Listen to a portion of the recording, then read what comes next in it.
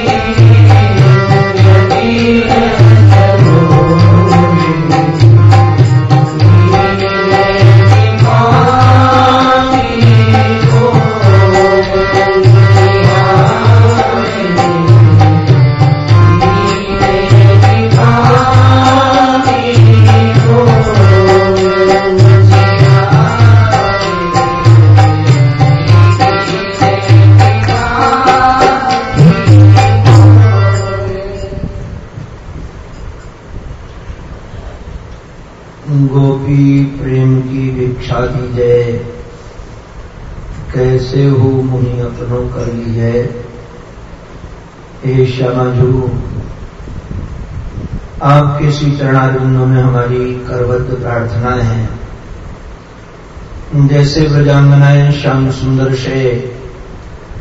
निष्काम निष्ठाह प्रेम करती हैं। वही प्रेम प्रभाव हमारे हृदय में भी प्रवाहित कर दीजिए आपके गुणों को गाता हुआ दिवस बिताता चला जा रहा हूँ।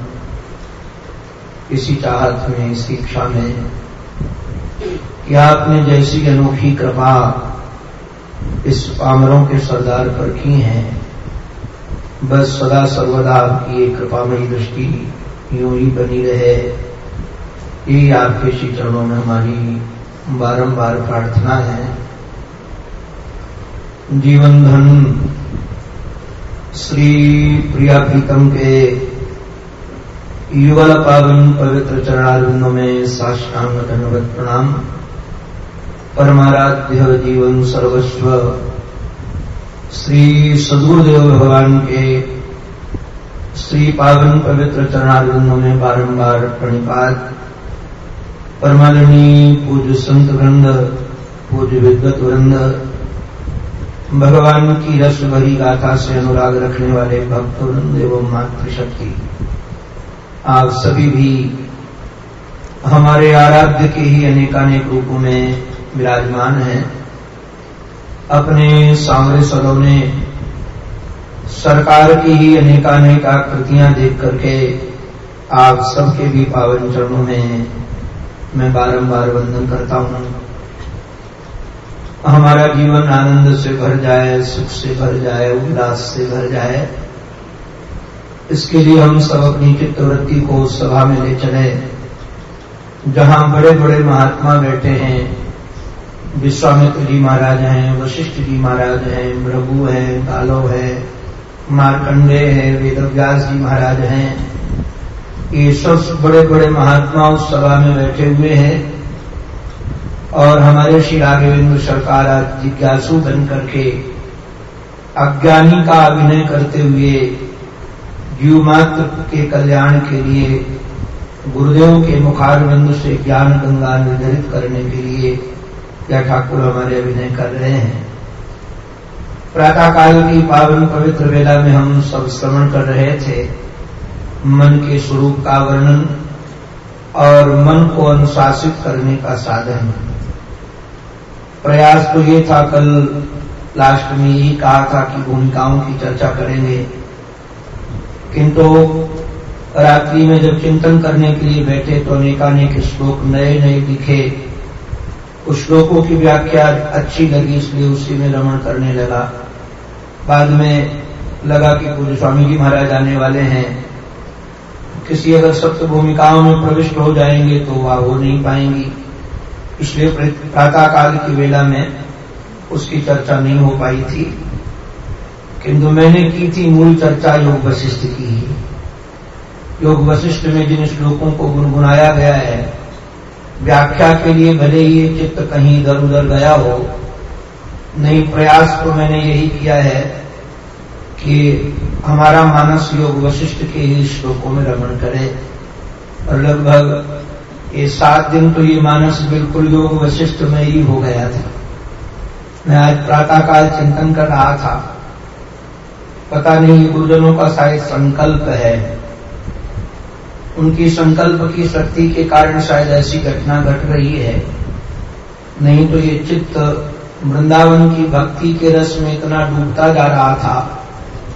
इतना डूबता जा रहा था कि अब इसके निकलने के चांस नहीं थे। और मैं उस रस से निकलना भी नहीं चाहता था। मेरा मानस भी नहीं था कि ब्रजरस के रस को छोड़कर क्योंकि विदग्ध माधव वृंदावन चंपू, ललित माधव, गोपाल चंपू। इन्हीं ग्रंथों के चिंतन में ये चित्त कई दिनों से लगा है। जब भी अवकाश मिलता है तो उन्हीं ग्रंथों का चिंतन करना प्रारंभ कर देता हूँ। और उसका चमत्कार ऐसा हुआ है कि अब तो ब्रज से बाहर जाने का मन भी होना बंद हो गया था।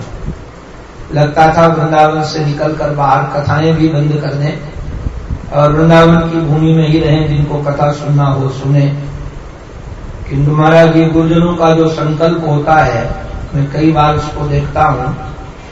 जैसे सारा का सारा जगत, ये भगवान के संकल्प का ही चमत्कार है।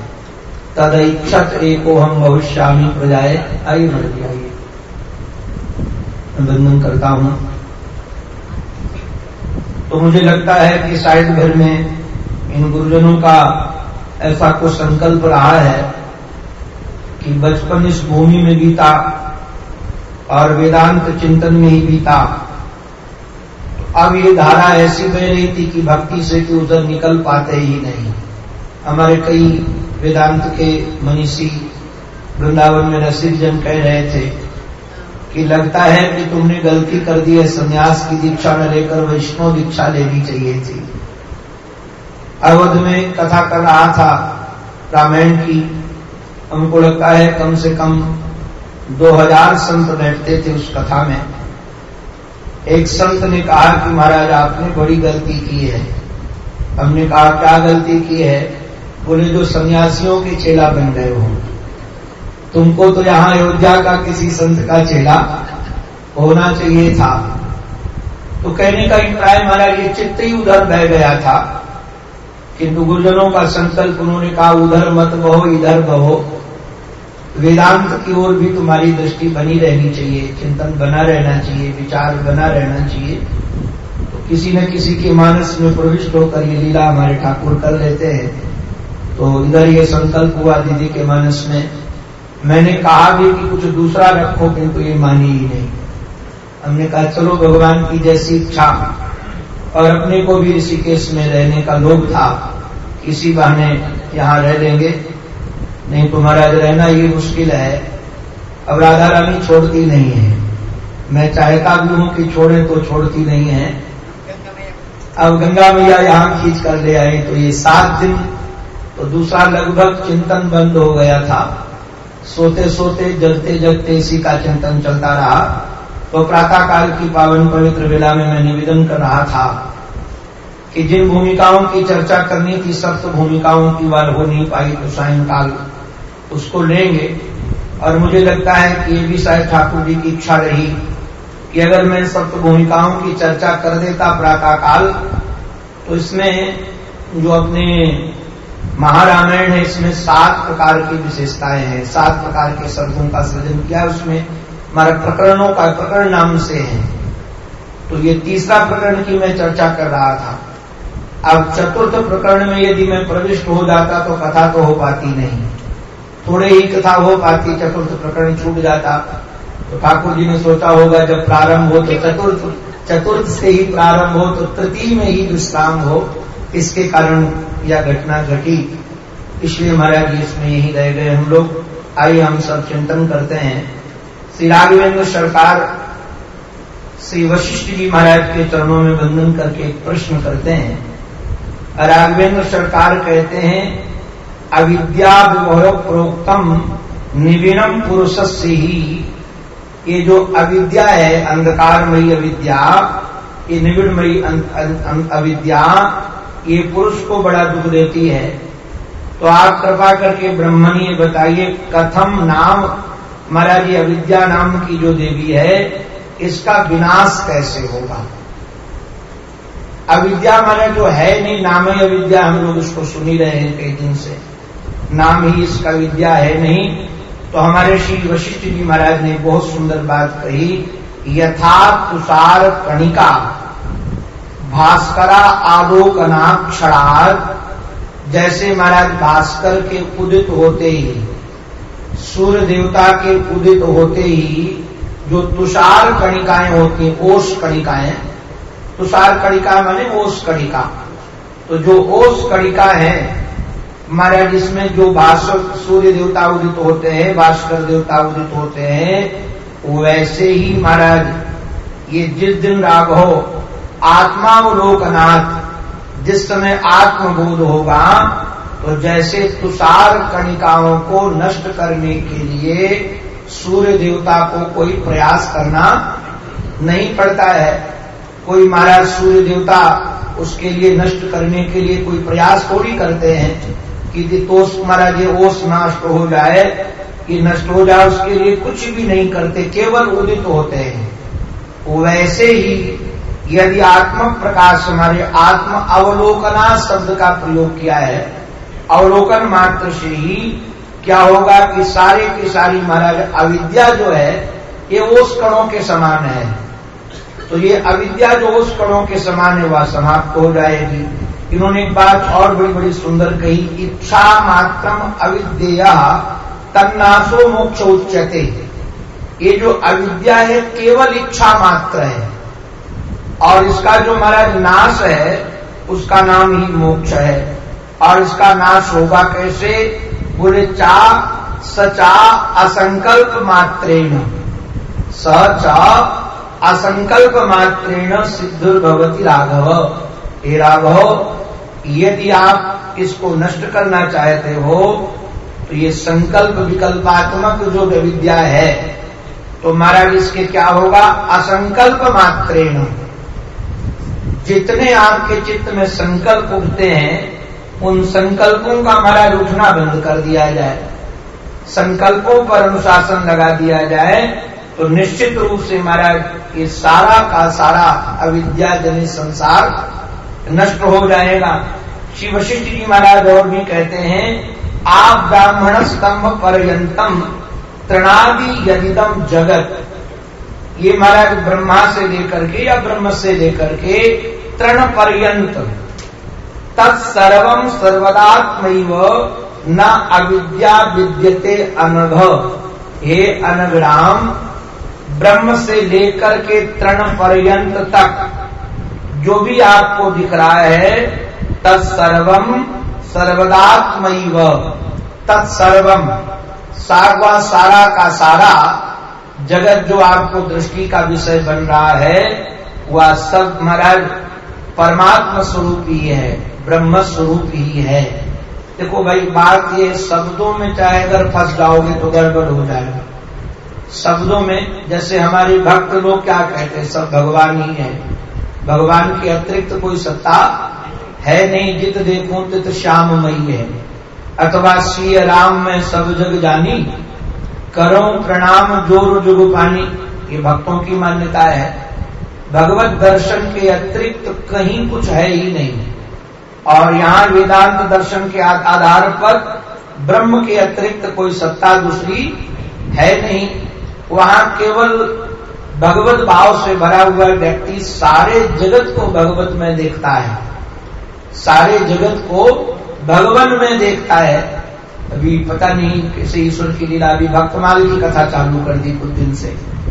भक्तमालू वैष्णव चित्त तो हो रहा था, उसी तो कहीं इधर पकड़ लिया गया। तो अभी कहीं तीन जगह भक्तमाल की चर्चा कर रहा था तो कितने संतों को मैंने देखा। नामदेव जी महाराज संतों का चरित्र पढ़ते हैं, अब वो रोटी बना रहे हैं। और रोटी बनाते समय महाराज रोटी रखी है, कुत्ता रोटी लेकर चला। तो पीछे श्रीमान जी घी लेकर के दौड़े, कि इसमें रोटी हमने, में घी नहीं लगाया है, घी लगा लीजिए, तब खाइए। आप जरा विचार कीजिए, घी लगाइए तब खाइए। कुत्ते में भी भगवत दर्शन हो गए कि नहीं हो गए? भले बने हो तुम्बक नाच महाराज कैसे कैसे भाव हमारे भक्तों के हैं? सर्वत्र भगवत दृष्टि। तो महाराज, इनके आधार पर सर्वत्र ब्रह्म दृष्टि। ब्रह्म के अतिरिक्त कोई सत्ता है नहीं। और श्रीमद भागवत कार ने इसको बड़े सुंदर शब्दों में कहा।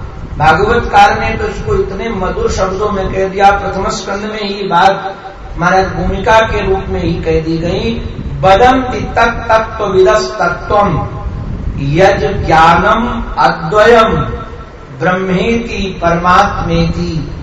भगवान की सत्यते ब्रह्मेति परमात्मेति, चाहे आप ब्रह्म कहें, चाहे परमात्मा कहें, चाहे भगवान कहें अद्वयम ज्ञानम ब्रह्मम। अद्वैत ज्ञान ही ब्रह्म है अद्वैत ज्ञान ही परमात्मा है। अलग अलग ढंग से नाम मात्र से उत्तरित किया तत्ववेता लोग नहीं बोलते हैं। तो यहाँ कहते हैं वशिष्ठ जी महाराज, हे अनग राम ये जो अविद्या आदि आप कह रहे हैं, इसकी तो सत्ता, अविद्या की कोई सत्ता ही नहीं है। केवल यदि सत्ता है तो महाराज आ ब्रह्म तम पर्यंतम, जहाँ तक आपकी हमारा तृणादि यदिदम जगत तृण आदि भी है, तब तक वह जहाँ तक है जगत, वह ब्रह्म में ही है। मैंने दिन निवेदन किया था, महर्षि हमारे कई बार घूमते घूमते अपने महात्माओं को ऐसे वृंदावन की रेत उठा ले। और रेत उठा करके कहें कि जब तक रेत का कण कण तुम्हें ब्रह्म में न दिखने लगे, तब तक ये मत समझ लेना कि हमको बोध हो गया है। क्योंकि ब्रह्म के अतिरिक्त कोई सत्ता है ही नहीं। तो क्या रजकण की सत्ता अलग हो गई? क्या व्यक्ति की सत्ता अलग हो गई? क्या यहाँ हमारा दूसरी सत्ता है ही नहीं, केवल उसी की सत्ता मात्र है? इस प्रकार से महाराज ये समझा रहे थे हमारे श्री वशिष्ठ जी महाराज राम जी को और कहा कि देखो भाई, ये चिंतन की अपने को विषय बनाकर रहना चाहिए। कृषोति दुखी बद्धोयम। यदि हम मानते हैं कृष हैं, बंधे हुए हैं, दुखी हैं या यदि मानते हैं, तभी तो हम बंधन वाले बनेंगे। अगर हम अपने को बंध मानते हैं, महाराज तो बंधन वाले बनेंगे। अपने को चिंतन क्या करना है? ना हम मांसम च अस्मास्तीनी, न तो मैं मांस वाला शरीर हूँ, न हड्डी, खून, रक्त वाला शरीर हूँ, न मैं देह वाला हूँ, मैं तुम्हारा साक्षात पर ब्रह्म हूँ। ये जो चिंतन हमारा चलता रहेगा बार देखो, दो प्रकार की विधियाँ। नेति नेति कहकर न इति न इति न इति। या मैं नहीं हूँ, या मैं नहीं हूँ, या मैं नहीं हूँ। नकारते हुए चले जाए, जो शेष रह जाएगा, वहाँ तो अवान मनस गोचरी है। वहाँ ये कहने की ज़रूरत नहीं पड़ेगी कि ये मैं हूँ। हमने कुछ संतों से कई प्रकार के दृष्टांत सुने कहा कि जैसे कोई पति पत्नी गए थे मेला में घूमने के लिए भारतीय परंपरा के, सनातन परंपरा के देवता दोनों देवी संयोग से उस मेले में दोनों अलग हो गए। और जब मेले में दोनों अलग हो गए वह देवी बेचारी बड़ी घबराई और सोचा, पति को कैसे ढूंढे अब हम? तो वहाँ जो महाराज मेला की व्यवस्था करने वाले लोग थे, जैसे आजकल भी मेला में माइक लगा दिया जाते हैं, वहाँ कई बार कहा कि हमारे पति खो गए हैं। उसने कहा कि तुम्हारे पति का नाम क्या है? तो हंसने लगी, बोले, हमारे यहाँ नाम नहीं बताते हम नाम नहीं बता सकते। बोले, नाम नहीं बताएँगे तो कैसे पुकारा जाएगा? तो उसने महाराज, एक सेवक ने कहा, कोई बात नहीं, आप गेट पर खड़ी हो जाओ। और गेट पर खड़ी हो गई, जो निकलता तो बोले, ये है? वो कहती थी, नहीं है। ये है? बोले, नहीं है। ये है? नहीं है। बार बार यही नेति नेति है। इसी का नाम नेति नेति है। और जहाँ उसके प्रेमास्पद आए, उसने कहा नहीं कि ये है। वो तो मुस्कुरा कर उनके पास चलेगी, स्वीकृति दे दी वहाँ वाणी की ज़रूरत नहीं है। ऐसे मेरा स्तुतियाँ अनेकानेक विधि से वर्णन करती हैं। अब हमारे श्री राघवेंद्र सरकार के पूछे जाने पर हमारे श्री वशिष्ठ जी महाराज ने, इन्होंने महाराज पूछा है कि आप कृपा करके बताइए, जो संसार है इसमें जो अज्ञान की भूमिका, जैसे आप लोग ज्ञान की भूमिकाओं के बारे में सुनते हैं पहले अज्ञान की भूमिकाओं का वर्णन है, बाद में ज्ञान की भूमिकाओं का वर्णन है। सात प्रकार की अज्ञान की भूमिकाएँ हैं और सात प्रकार ही ज्ञानी पुरुषों की भूमिकाओं का यहाँ वर्णन किया गया है। वैसे इन्होंने एक बात बड़ी सुंदर कही है, जड़ो देहो न दुखार्थो दुखी, देहा देहा विचारता अविचारो। महाराज, यदि व्यक्ति के जीवन में दुख है तो विचार के अभाव के कारण ही है। यदि विचारवान आप बन जाए तो निश्चित रूप से दुख नाम की सत्ता जीव के लिए है ही नहीं। ये चित्त, अविद्या, मन, जीव, वासना और कर्मात्मा, ये सब जीव के ही नाम है। चाहे आप उसको महाराज चित्त कहो, चाहे अविद्या कहो चाहे मन कहो, चाहे जीव कहो, चाहे वासना कहो, चाहे कर्मात्मा कहो। वशिष्ठ जी महाराज कहते हैं, इन इन नामों के द्वारा हमारे विद्युत जन पुकारते महाराज इस देह जड़ के जो अहंकार की वृत्ति करके बैठा है, जीव का नाम ही एक रखा गया है। अब जो महाराज इसकी सारी की सारी जो दशाएँ हैं सर्वेशु सुख दुखेशु सर्वासु करनासु च कर तो मने भोक्तुर मानसम सिद्धि मानसम कहते जो कर्ता और भोक्ता का जो फल दुख मिलता है आदि, सब मन के द्वारा ही कर्ता बनता है और मन के द्वारा ही भोक्ता बनता है। मन ही कर्ता भाव से भरता है और मन ही भोक्ता भाव से भरता है। तो मन जो कर्ता भाव से भर रहा है और महाराज भोक्ता भाव से भर रहा है तो ये जितनी दशाएँ महाराज यहाँ भी महाराज वर्णन की जाएँगी, ये आपको सुनाएँगे। सात दशाओं का जो महाराज अज्ञान की सात दशाओं का इन्होंने वर्णन किया है। ये जीव की ही सात दशाएँ हैं। जो जीव, जो मन नामक जीव है, इसकी सात दशाओं का यहाँ वर्णन किया गया है। पहली अवस्था है बीज जागृत। इसका नाम बीज जागृत अवस्था है यह ज्ञान की दशा है। बीज जागृत का अभिप्राय क्या यहाँ इसका विस्तार से वर्णन किया गया है। बीज जागृत उसको कहते हैं, जैसे अभी बालक उत्पन्न हुआ है। तो बालक को न तो मैं शरीर हूँ, ये पता है, न कोई दूसरा है, ये पता है। अभी अहंता और ममता का दोनों का जागरण, उसमें नहीं, केवल बीज जागृत है ये। जैसे बालक के जीवन में जब तक बालक को बोध नहीं होता है, बाद में संसार के लोग पूछते हैं, तुम्हारा कान कहाँ है? बच्चों को तो कान पकड़ता है, नाक कहाँ है तो नाक पकड़ता है। उसका नाम रख दिया, वो कहाँ है? तो फिर ऐसे कर कहता ये है वो। छोटे छोटे बच्चों को इस प्रकार से नहीं तो पहले उसमें तो कोई बोध होता नहीं है।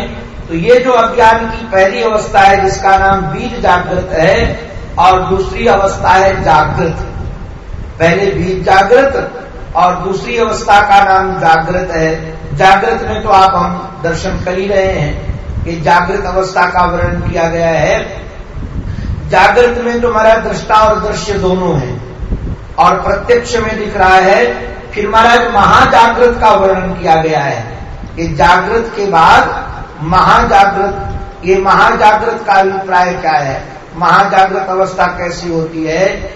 जैसे आपने लीला उपाख्यान में देखा कि सरस्वती ने जागृत अवस्था में ही उस महाराज उसको सार, सारा का सारा जगत दिखाया कि नहीं दिखाया उसके न तो स्वप्नावस्था में नहीं थी वो। जागृत अवस्था ने उस उसमें थी वो उसके पूर्व जन्म का भी दर्शन करा दिया और बाद के भी जन्म का दर्शन करा दिया। जैसे कल आप लोग सुन रहे थे महाराज लवण राम के राजा की कथा। इसमें जो वर्णन की गई है अब उसको महाराज इंद्रजाल दिखाने वाला व्यक्ति आया तो कोई सो थोड़ी रहा था राजा। राजा तो जागृत अवस्था में था और इंद्रजाल दिखाने वाला व्यक्ति आया, उसने ऐसा चमत्कार किया, ऐसा चमत्कार किया कि कहा वो चांडाल के नगर में पहुँच गया। और चांडाल नगर में पहुँचा ही नहीं, उसका पानी ग्रहण संस्कार भी हो गया, बच्चे भी हो गए, सारा पूरा परिवार भी हो गया तो ये महाराज जागृत अवस्था नहीं ये महान जागृत अवस्था है। अब दूसरी बात महाराज ये चौथे नंबर पर कहा गया जागृत स्वप्न। जागृत स्वप्न का अभिप्राय कई बार कई प्रपंचों को हम जागृत में ही देख, देखने लगते हैं। है वो स्वप्न ही किंतु जागृत अवस्था में ऐसा लगता है कि हाँ भाई कुछ भाषित हो रहा है। वो अज्ञान की ही दशा है। वह दूसरी कोई दशा है नहीं हमारा दूसरी जागृत अवस्था के बाद का स्वप्न अवस्था। अब ये स्वप्न अवस्था भी अज्ञान जनित ही है। किंतु जब हम स्वप्न अवस्था में होते हैं, जीव ये स्वप्न अवस्था में होता है तो सारा का सारा संसार दिखता है कि नहीं दिखता? और उसमें सारी दुनिया भी दिखती है। उस समय ये थोड़ी लगता है कि हम स्वप्न देख रहे हैं। उस समय स्वप्न का भ्रम कहाँ होता है? तो ये है तो स्वप्नावस्था हमारा अज्ञान जनित अवस्था है। और उसके बाद कहा कि हमारा स्वप्न जागृत अवस्था। स्वप्न अवस्था, फिर स्वप्न और जागृत अवस्था। स्वप्न जागृत अवस्था का अभिप्राय क्या है? कई बार स्वप्न देखते देखते हम आप मैडम क्या करते हैं कि लगता है कि हम स्वप्न देख रहे हैं। स्वप्न में भी एक पता चल जाता है कि हम स्वप्न देख रहे हैं। तो ये जो अवस्था का यहाँ वर्णन किया गया है, इसका नाम स्वप्न जागृत अवस्था है। और सातवीं जो अज्ञान की अवस्था, उसका नाम सुसुप्ति अवस्था है। ये सुसुप्ति अवस्था को भी अज्ञान जनित ही माना है। ये ज्ञान जनित नहीं है। जैसे बालक अवस्था भी, अभी हमारे यहाँ वृंदावन में गोष्ठी थी तो एक महात्मा ने प्रतिपादन कर दिया कि सबसे ज़्यादा इस दुनिया में यदि कोई सुखी है तो बालक सुखी है। प्रतिपादन की शैली में वो प्रतिपादन कर गए अपने मैं भी उस सभा में बैठा था किंतु अपना स्वभाव तो खंडन मंडन का नहीं है। हम जिस परंपरा से हमारे महाराज जी तो किसी का खंडन करते ही नहीं थे। कभी खंडन न करें तो महाराज उसके बाद एक महात्मा, जो बोले वृंदावन के प्रसिद्ध महात्मा, उन्होंने बिल्कुल खंडन कर दिया। और खंडन करके कहा कि बालक अवस्था, मोहजन्य अवस्था है ये आनंदजन्य अवस्था नहीं है, मोह की है। और उन्होंने ऐसे ढंग से प्रतिपादन किया कि जिस बिचारे महात्मा ने किया था प्रतिपादन, उसका सब फेल हो गया। मुझे बड़ी पीड़ा हुई, क्योंकि जो उन्होंने तर्क दिए थे, वो तर्क युक्ति युक्त समझ में नहीं आ रहे थे। और उस समय अपने राम ने ये योग वशिष्ठ पढ़ा नहीं था। तो मुझे तो महाराज वो जो बालक अवस्था की बात जो उन्होंने कही थी, वो भी हमको सही लग रहा था, और जो महात्मा बोले थे, वो भी सही लग रहा था, जो खंडन किए थे, किंतु तो अभी जब मैंने इस अवस्था का चिंतन किया तो मुझे लगा कि जिन्होंने खंडन किया था वही सही थे। कारण क्या है? बालक तो अज्ञान जन्य है। अभी उसके बोध हुआ ही कहाँ है? बालक को तो अज्ञानावस्था में जी रहा है। उसकी अवस्था ही अज्ञान जन्य है। अब वो अज्ञान जन्य उसमें तो प्रारंभ में ही हमारा जीव जागृत अवस्था का अधिकारी है। तो जीव जागृत अवस्था का अधिकारी तो उसको हमारा परम सुखी हम नहीं कह सकते हैं कि वह परम सुखी होगा। परम सुखी तो बोधवान ही होता है। भगवत प्राप्त महापुरुष ही परम सुखी होते हैं दूसरा कोई परम सुखी हो नहीं सकता है। महाराज, इस प्रकार से इन्होंने वर्णन करने के बाद बाद में श्री राघवेंद्र सरकार ने हमारे पूछा है कि मोक्ष पर्यंत जो सख्त भूमिकाएँ हैं, आप कृपा करके हमको वो बताइए, जो हमारे महात्माओं में लक्षित होती हैं ये सत्य भूमिकाएँ। जो महात्माओं में लक्षित होती हैं, हमारे ब्रह्म ज्ञानियों में हमारा लक्षित होती हैं, बदंती बहुभेदेन बादिनो योग भूमिका। महाराज, इन्होंने कहा कि जो मैं बोल हूँ श्री वशिष्ठ जी महाराज का कहना है, ये महाराज जो भूमिकाएँ बोल रहे हैं ज्ञानियों की, ये योग भूमिका नहीं है। क्योंकि तो योग में अष्टांग योग का वर्णन किया गया, यम नियम आसन प्रत्याहार धारणा, ध्यान और समाधि आदि के रूप में वो भूमिकाओं का यहाँ वर्णन नहीं किया गया है। मम महाराज मेरे द्वारा ये पाई गई है, ये शुभ प्रदा ये शुभप्रद अवस्थाएँ हैं और जो विज्ञानियों के जीवन में लक्षित होती है, जो विज्ञानियों के जीवन में महाराज जी का दर्शन करने को मिलता है। सबसे पहली जो ये महाराज भूमिका है, इसका नाम शुभेच्छा है। उसका नाम पहली भूमिका का नाम क्या है? शुभेच्छा। और दूसरी महाराज जो अवस्था है, वो विचारणा है। पहली है शुभेच्छा दूसरी अवस्था है विचारणा, और तीसरी महाराज है तनुत्तमा उसका नाम तीसरी भूमिका है। सत्वापत्ति चतुर्थ है, और महाराज सत्तापति चतुर्थ में रखा गया, पदार्थ भावनी। ये सृष्टि भूमिका है, और तुलिका ये सात्विक भूमिका है। अब इन्होंने बड़े सुंदर ढंग से इसका एक एक करके प्रतिपादन किया है। कि जो पहली महाराज अवस्था है, जिसका नाम शुभेच्छा है तो शुभेच्छा का अर्थ तो महाराज सीधे साधे अर्थ में देखा जाए तो लगता है शुभेच्छा उसी का नाम शुभेच्छा हो गया। शुभेच्छा क्या है? संसार में, सचमुच में, यदि कोई शुभेच्छा है तो भगवत प्राप्ति की इच्छा ही शुभेच्छा है। और दुनिया की जितनी भी इच्छाएँ हैं, वो कोई शुभेच्छा हो सकती नहीं है, क्योंकि तो दुनिया की जितनी भगवत प्राप्ति को छोड़ करके, भगवत प्राप्ति के अतिरिक्त जितनी भी हमारी इच्छाएँ जागृत होंगी, ये निश्चित रूप से हमारी वो इच्छाएँ हमको शुभ की ओर नहीं ले जाएँगी, अशुभ की ओर ही ले जाएँगी, कुशलता की ओर नहीं ले जाएँगी, अकुशलता की ओर ही ले जाएँगी, मंगल की ओर नहीं, अमंगल की ओर ही ले जाएँगी। तो शुभेच्छा मैंने यहाँ हमारा शुभेच्छा का वर्णन करते हुए हमारे श्री वशिष्ठ जी महाराज ने कहा है, स्थित किम मूढ़? ऐसा प्रेक्षम शास्त्र सज्जन ही वैराग्य पूर्वकम इच्छति शुभेच्छा उच्चते बुधई ही पहली बात तो इसमें देखिए, सबसे ये वेदांत में जो सबसे विलक्षणता है, इसलिए कलयुगाद में इस विद्या का प्रचार प्रसार बहुत कम करने लायक है। नाराज़ न हो हमारे वेदांत विद्या का प्रचार कर, प्रसार करने वाले सुनने वाले। इसमें जो वैराग्य की शर्त है वो वैराग्य की शर्त आजकल मिलना बड़ा कठिन है।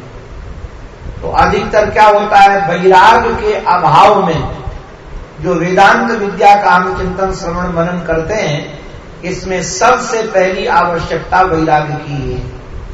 और वैराग के अभाव में यदि हम चिंतन मनन करते हैं, ये शरीर तो घूमता रहता है सब जगह तो ये असी ब्रह्म और तुषी ब्रह्म में फिर अमंगल ही पैदा होता है। अमंगल ही पैदा होता है। कारण क्या है कि जो ब्रह्म ज्ञान है, ये सिंघनी का दुग्ध है। और सिंघनी का दुग्ध महाराज उसी पात्र पर रुकता है, केवल स्वर्ण पात्र पर। स्वर्ण पात्र के अतिरिक्त ये ज्ञान विद्या अमंगल नहीं है। ये तो भगवान का साक्षात स्वरूप है। जो ज्ञान का महाराज उपहास करे, ज्ञान की निंदा करे, वह तो निश्चित रूप से भगवान की निंदा कर रहा है, भगवान का उपहास कर रहा है। ज्ञान की कहीं निंदा नहीं है। भागवत में भी ज्ञान की कहीं निंदा नहीं है। हम तो महाराज जब शुरू शुरू में गए वृंदावन तो सुनते थे कि उद्धव को महाराज गोपियों ने ऐसे डंडे बजाए कि उनका महाराज दुशाला ज्ञान का वो सब फट गया। किंतु हमको भागवत में कहीं ये बात पढ़ने को नहीं मिली कि गोपियों ने डंडे बजाए या कुछ हुआ।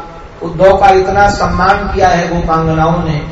इतने और श्री उद्धव जी महाराज वहाँ रह गए। तो ज्ञान का कहीं महाराज तिरस्कार नहीं है।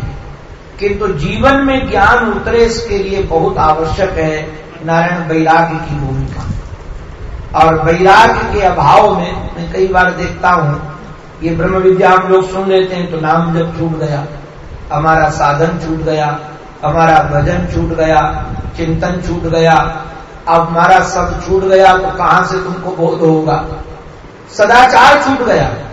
अब यहाँ वर्णन किया जाएगा हमारा इसमें बड़ी सुंदर बात कही, दूसरी भूमिका में सदाचार प्रवृत्त चर्या जीवन में सदाचार की आवश्यकता है। किंतु तो हमारे टीकाकारों ने सदाचार का यहाँ अर्थ थोड़ा बदल दिया है। भले वेदांत परक यहाँ कर दिया है उसका अर्थ सदाचार का किंतु सबसे पहले तुम्हारा तो ये कि मैं मूड होकर हूँ और मूड क्यों हूँ?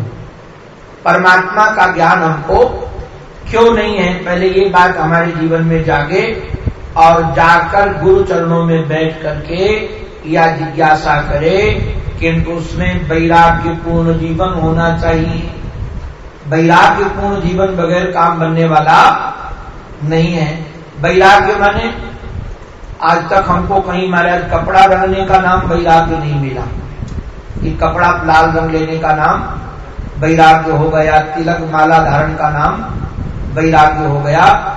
राग द्वेष का अभाव अत्यंता भाव तो नहीं किया जा सकता है, क्योंकि कम अभाव तो आए जीवन में।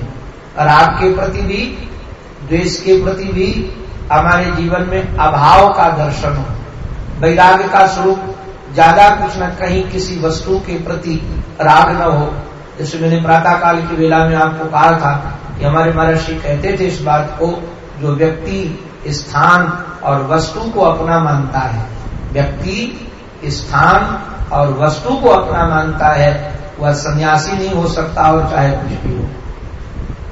वह सन्यासी नहीं हो सकता। जो व्यक्ति पर राग है, वस्तु पर राग है, स्थान पर राग है, वह कहाँ से संन्यास अवस्था में आएगा?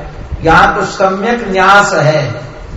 सम्यक प्रकार से न्यास। और वैराग्य की हमारा सबसे बात यही विलक्षणता है।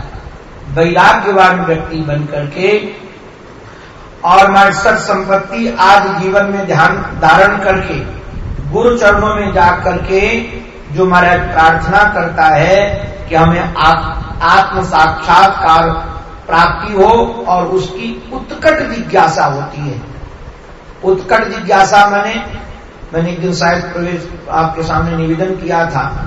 जिज्ञासा का तो अर्थ ये जानने की इच्छा। जैसे पिपासा शब्द है, वैसे ही जिज्ञासा शब्द है। पिपासा माने पानी पीने की उत्कट जिज्ञासा उत्कट इच्छा। और जिज्ञासा माने उस परम तत्व को जानने की उत्कट इच्छा। ऐसी उत्कट इच्छा हमारे तो महात्मा हमको बड़ा डांटते थे, यही थे अभी तो महात्मा नहीं रहे। उन्होंने बड़ी कृपा की। मैं सच कहूँ, कई महात्माओं का बहुत अहेतुकी प्रेम था। और ये शरीर उसको पहचान नहीं पाया उस समय। किसी कारण से मैं पूज रामसुदा जी महाराज के इसी चरणों में गया। तो हमारे एक मित्र विद्यार्थी थे जो गीता भवन में ही रहते थे। वो हमको लेकर गए, हमें कुछ पता भी नहीं था। लेकर गए, स्वामी जी ने पूछा, कहाँ रहते हो तो बताया, फिर स्वामी जी ने हमको महाराज, उस समय सरनानंद जी महाराज का सारा साहित्य दिया। किंतु न तो उसमें कोई श्लोक था, न कोई देवदोहा, न चौपाई, कुछ नहीं था। तो मुझे लगा कि इसमें तो कुछ है ही नहीं। अब देखिए, हम लोग तो यही समझते हैं, जिसमें कोई श्लोक हो, दोहा हो, और उसमें थोड़े प्रमाण दिए हो गए, मंत्र, वेद मंत्र हो तो हम समझते हैं, ये प्रवचन बहुत उत्तम है। अधिकतर उसी प्रवचन की ओर जिज्ञासा होती है। वो मैं ग्रंथ लेकर सारे ग्रंथ रख दिया, एक बार भी नहीं पढ़ा। महाराज जी ने दिया, मैंने एक बार भी नहीं पढ़ा। अभी तीन साल पहले हमको एक अमरसणानी महाराज का हमको ग्रंथ हाथ में लगा। और जब मैंने पढ़ा तो हमने कहा ये तो हमको पच्चीस साल पहले मिले थे ग्रंथ। और हमने तो उसको महाराज ध्यान ही नहीं दिया। हमने कहा पच्चीस साल पहले ग्रंथ मिले थे। तो मैंने उनको महाराज सारा पढ़ा उनको एक तरफ़ से। फिर मैं पूरा साहित्य लेकर के आया, वहाँ से लेकर के पढ़ा तो महाराज दंग रह गया। सारी श्रुतियों का अनुवाद उस महापुरुष के द्वारा किया गया है। सारी श्रुतियों का अनुवाद उसमें किया गया है। साक्षात श्रुतियाँ ही लगता है उनके मुखार से उच्चरित होती थी। तो कैसा जीवन होना चाहिए? जिज्ञासा का उसमें इतना सुंदर वर्णन किया है। तो जिज्ञासा का मैं वर्णन कर रहा था, जिज्ञासा का अभिप्राय क्या जानने की इच्छा। और इतनी प्रबल इच्छा, इतनी प्रबल इच्छा कि जब तक उसकी हमको प्राप्ति न हो जाए, इच्छा हमारी पूरी न हो जाए, तब तक हमको नींद ना आए। आप जरा सोचो रात्रि में अगर हमको प्यास लगी हो और नींद खुल जाती है तो फिर नींद आती है। जब तक पानी न मिल जाए, तब तक नींद नहीं आती है। और अभी तक हमको बोध की ओर हम बढ़े नहीं। और आराम से सो रहे हैं तो क्या हम जिज्ञासु कहलाएँगे? हमारी जिज्ञासा पूरी अभी हुई नहीं और हम आराम से सो रहे हैं। आराम से रह रहे हैं तो महाराज, हमारे जीवन में उत्कट जिज्ञासा जागृत हो और वैराग्य पूर्ण हमारा जीवन हो, इसी का नाम पहली स्थिति है। इसी का नाम शुभेच्छा है। हमारे जीवन में और दूसरी महाराज जो स्थिति का वर्णन करते हैं शास्त्र सज्जन संपर्क ही वैराग्याभ्यास पूर्वकम ये पहली भूमिका भी इसमें आ गई। ये क्रम ही। है मैं आज देख रहा था, कल भी इसको देखा इसकी भूमिकाओं को तो मैंने चार बार देखा, क्योंकि वो सब पूरी समझ में नहीं आ रही थी हमको बार बार क्योंकि भेद समझ में नहीं आ रहा था उसका।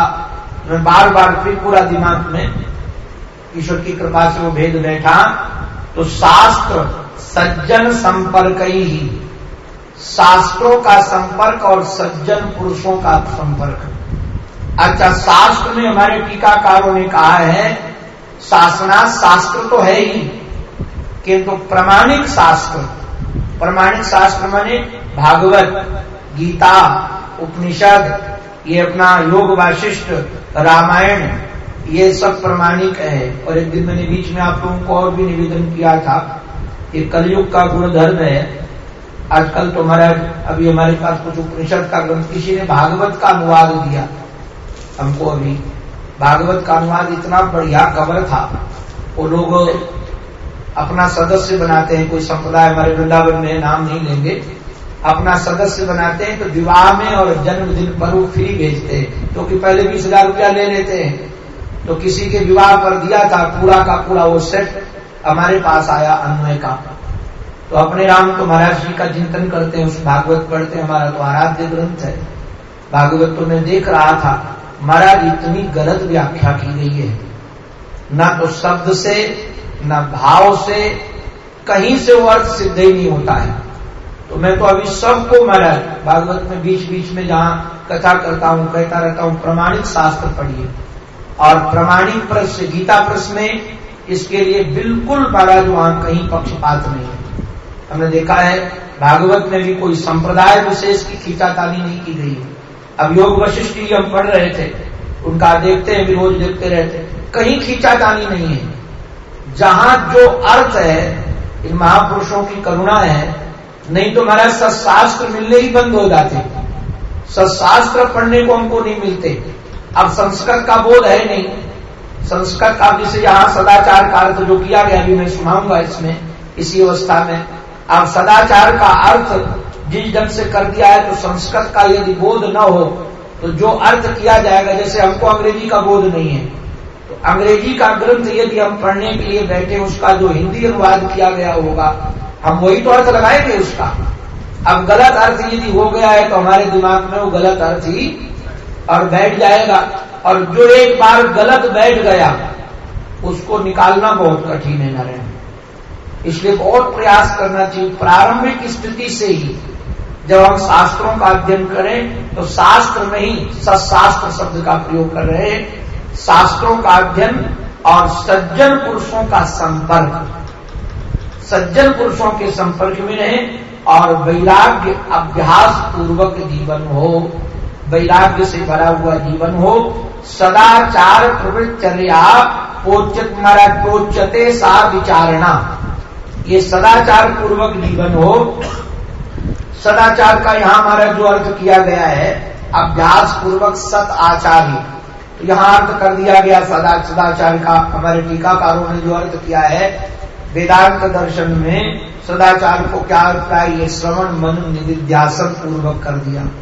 वैसे सत आचार ही है व्यवहार जो हमारा हो, मैं कई बार लोगों को एक और निवेदन करता हूँ, जिसका व्यवहार मधुर नहीं होगा, उसका परमार्थ मधुर हो ही नहीं सकता है।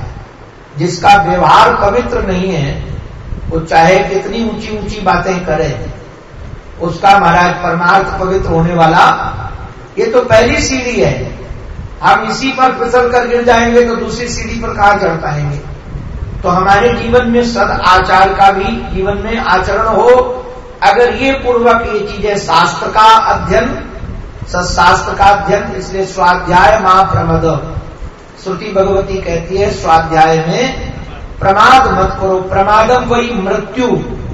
आज हमारा सबसे ज़्यादा ह्रास यदि हो रहा है, किसी का तो स्वाध्याय का हो रहा है। आप लोगों को हम क्या बताएँ, तुमको बहुत पूजा होती है। हमारे आश्रम में अभी चालीस हज़ार ग्रंथ है। और चालीस हज़ार ग्रंथों में कोई अब ग्रंथ लेने के लिए नहीं आता है। सब कैसे सुनना चाहते हैं। ग्रंथ कोई पढ़ना नहीं चाहता, इसलिए अभी हमको दूसरी लाइब्रेरी बनानी पड़ी वहाँ। कैस्टों की लाइब्रेरी बनानी पड़ी। क्योंकि उस लाइब्रेरी को कोई प्रयोग ही नहीं करता है। अब ये ग्रंथ में निकाल करके लाया तो हमारे महाराज ने कहा कि 20 साल के बाद ये ग्रंथ उठाया गया है किसी ने। 20 साल तक रजिस्टर में इस ग्रंथ को किसने लिया ही नहीं? तो हमने कहा, हे भगवान, इतना प्रमाद हो रहा है, इतना प्रमाद हो रहा है, स्वाध्याय का प्रमाद हो रहा है, और स्वाध्याय के प्रमाद से क्या होगा? प्रवचन भी बिगड़ जाएँगे। जब मूल ही नहीं होगा, आप देखो, आज हमको बड़ी अच्छी बात लगी। कल जैसे मैंने कह दिया था शब्द भूमिकाओं का वर्णन करूँगा मैं। और नहीं हो पाया तो हमारे श्रोता ने तुरंत टिप्पणी कर दी, यही यही सब तो भूमिकाएँ हैं। तो जब हमको टिप्पणी मिली सुनने के लिए तो हम सजग हो गए कि नहीं हो गए? तो प्रवचन में यदि शास्त्र का अभ्यास व्यक्ति का है, और वो श्रोता होगा, और वक्ता ने यदि गलत बोल दिया, या इधर उधर चला गया, और श्रोता ने टोक दिया तो वक्ता को दूसरे दिन तैयारी करके आना पड़ेगा कि नहीं आना पड़ेगा? नहीं तो भूरिया बिस्तर बाँध लेगा कि दोबारा हम इनको तो नहीं सुनाएँगे और चाहे किसी को सुनाए। ये लोग टोक टोक करते हैं तो स्वाध्याय में यदि प्रमाद महाराज हो गया इसलिए शास्त्र अभ्यास जीवन में बना रहे, हमारे यहाँ तो महाराज आपको क्या कहे, भगवत प्रमाण उतना नहीं जितना शास्त्र प्रमाण है। नास्तिक हम लोग उसको नहीं कहते हैं, नास्तिक उसका नाम नहीं है जो महाराज मूर्ति को न माने। हम लोग उसको नास्तिक नहीं मानते हैं। नास्तिक हम लोग उसको मानते हैं जो वेद को नहीं मानता है।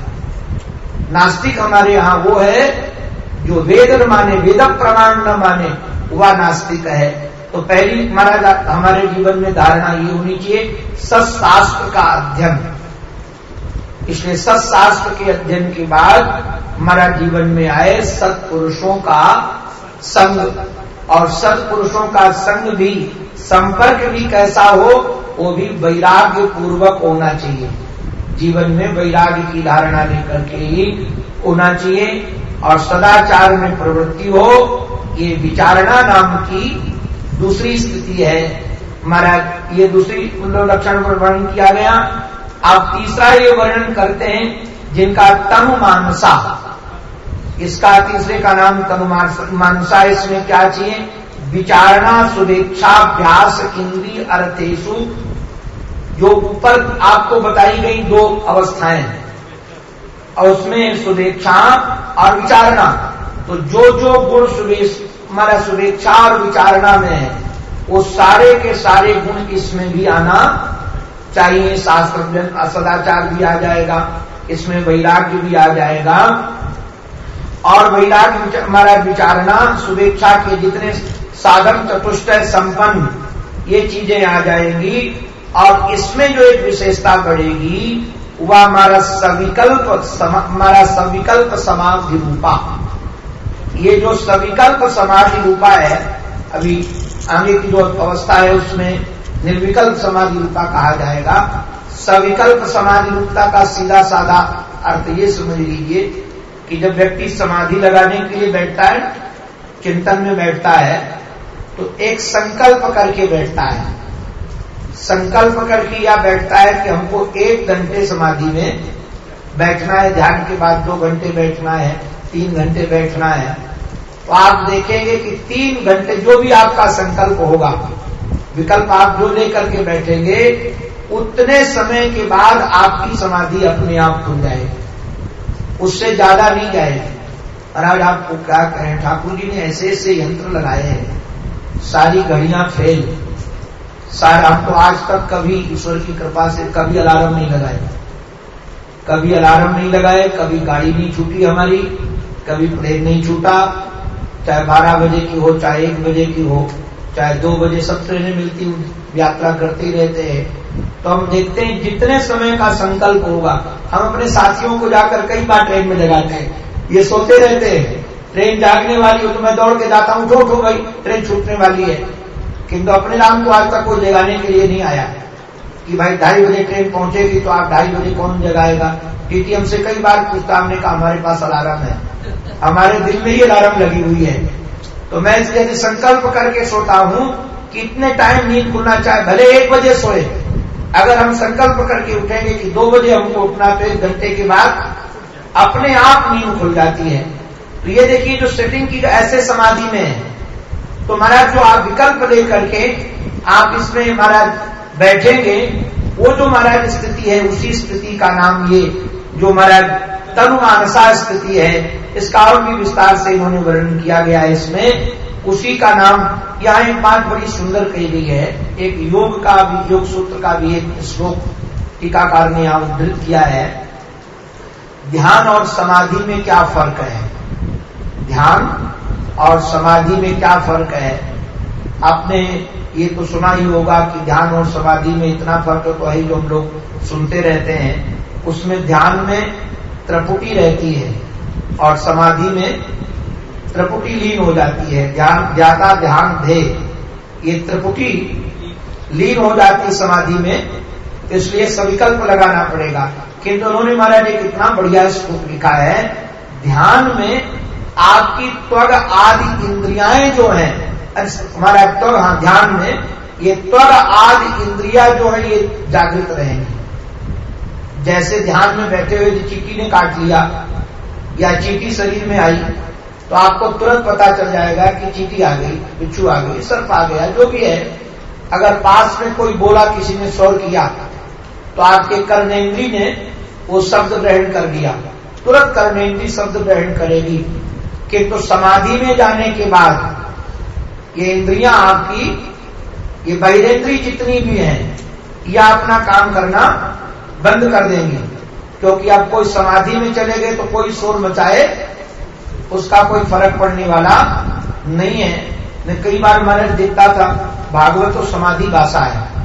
भागवत की जो भाषा है, समाधि भाषा है तो जब अपने राम कथा करना प्रारंभ किए तो कोई थोड़ा सा भी खट्ट कर दे।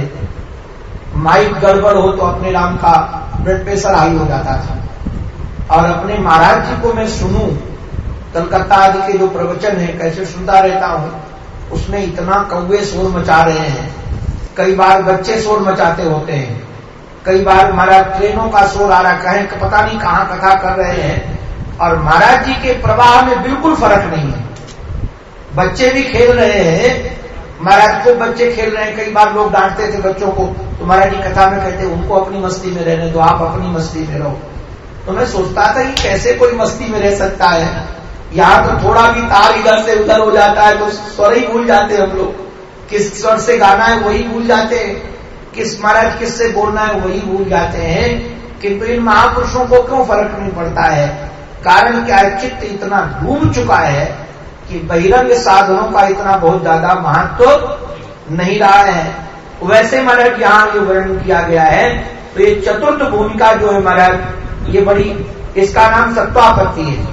ये चतुर्थ भूमिका, इसमें जो तीन भूमिकाएँ पहले की है, वो तो सारी आ गई। इसमें माया और माया के कार्य, ये तीनों अवस्थाओं का जिसमें महाराज निषेध कर दिया जाए और इसमें निर्विकल्प समाधि रूपा स्थिति है ये।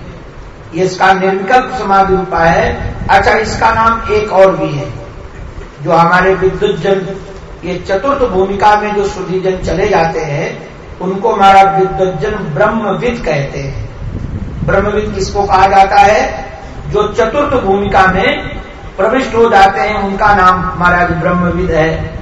और अब पांचवी भूमिका के बारे में महाराज इन्होंने वर्णन किया है एक असल शक्ति जिसका नाम रखा है इन्होंने ये समाधि पर्यंत महाराज जितने चित्त की महाराज शुद्धि है, वह तो होनी ही चाहिए।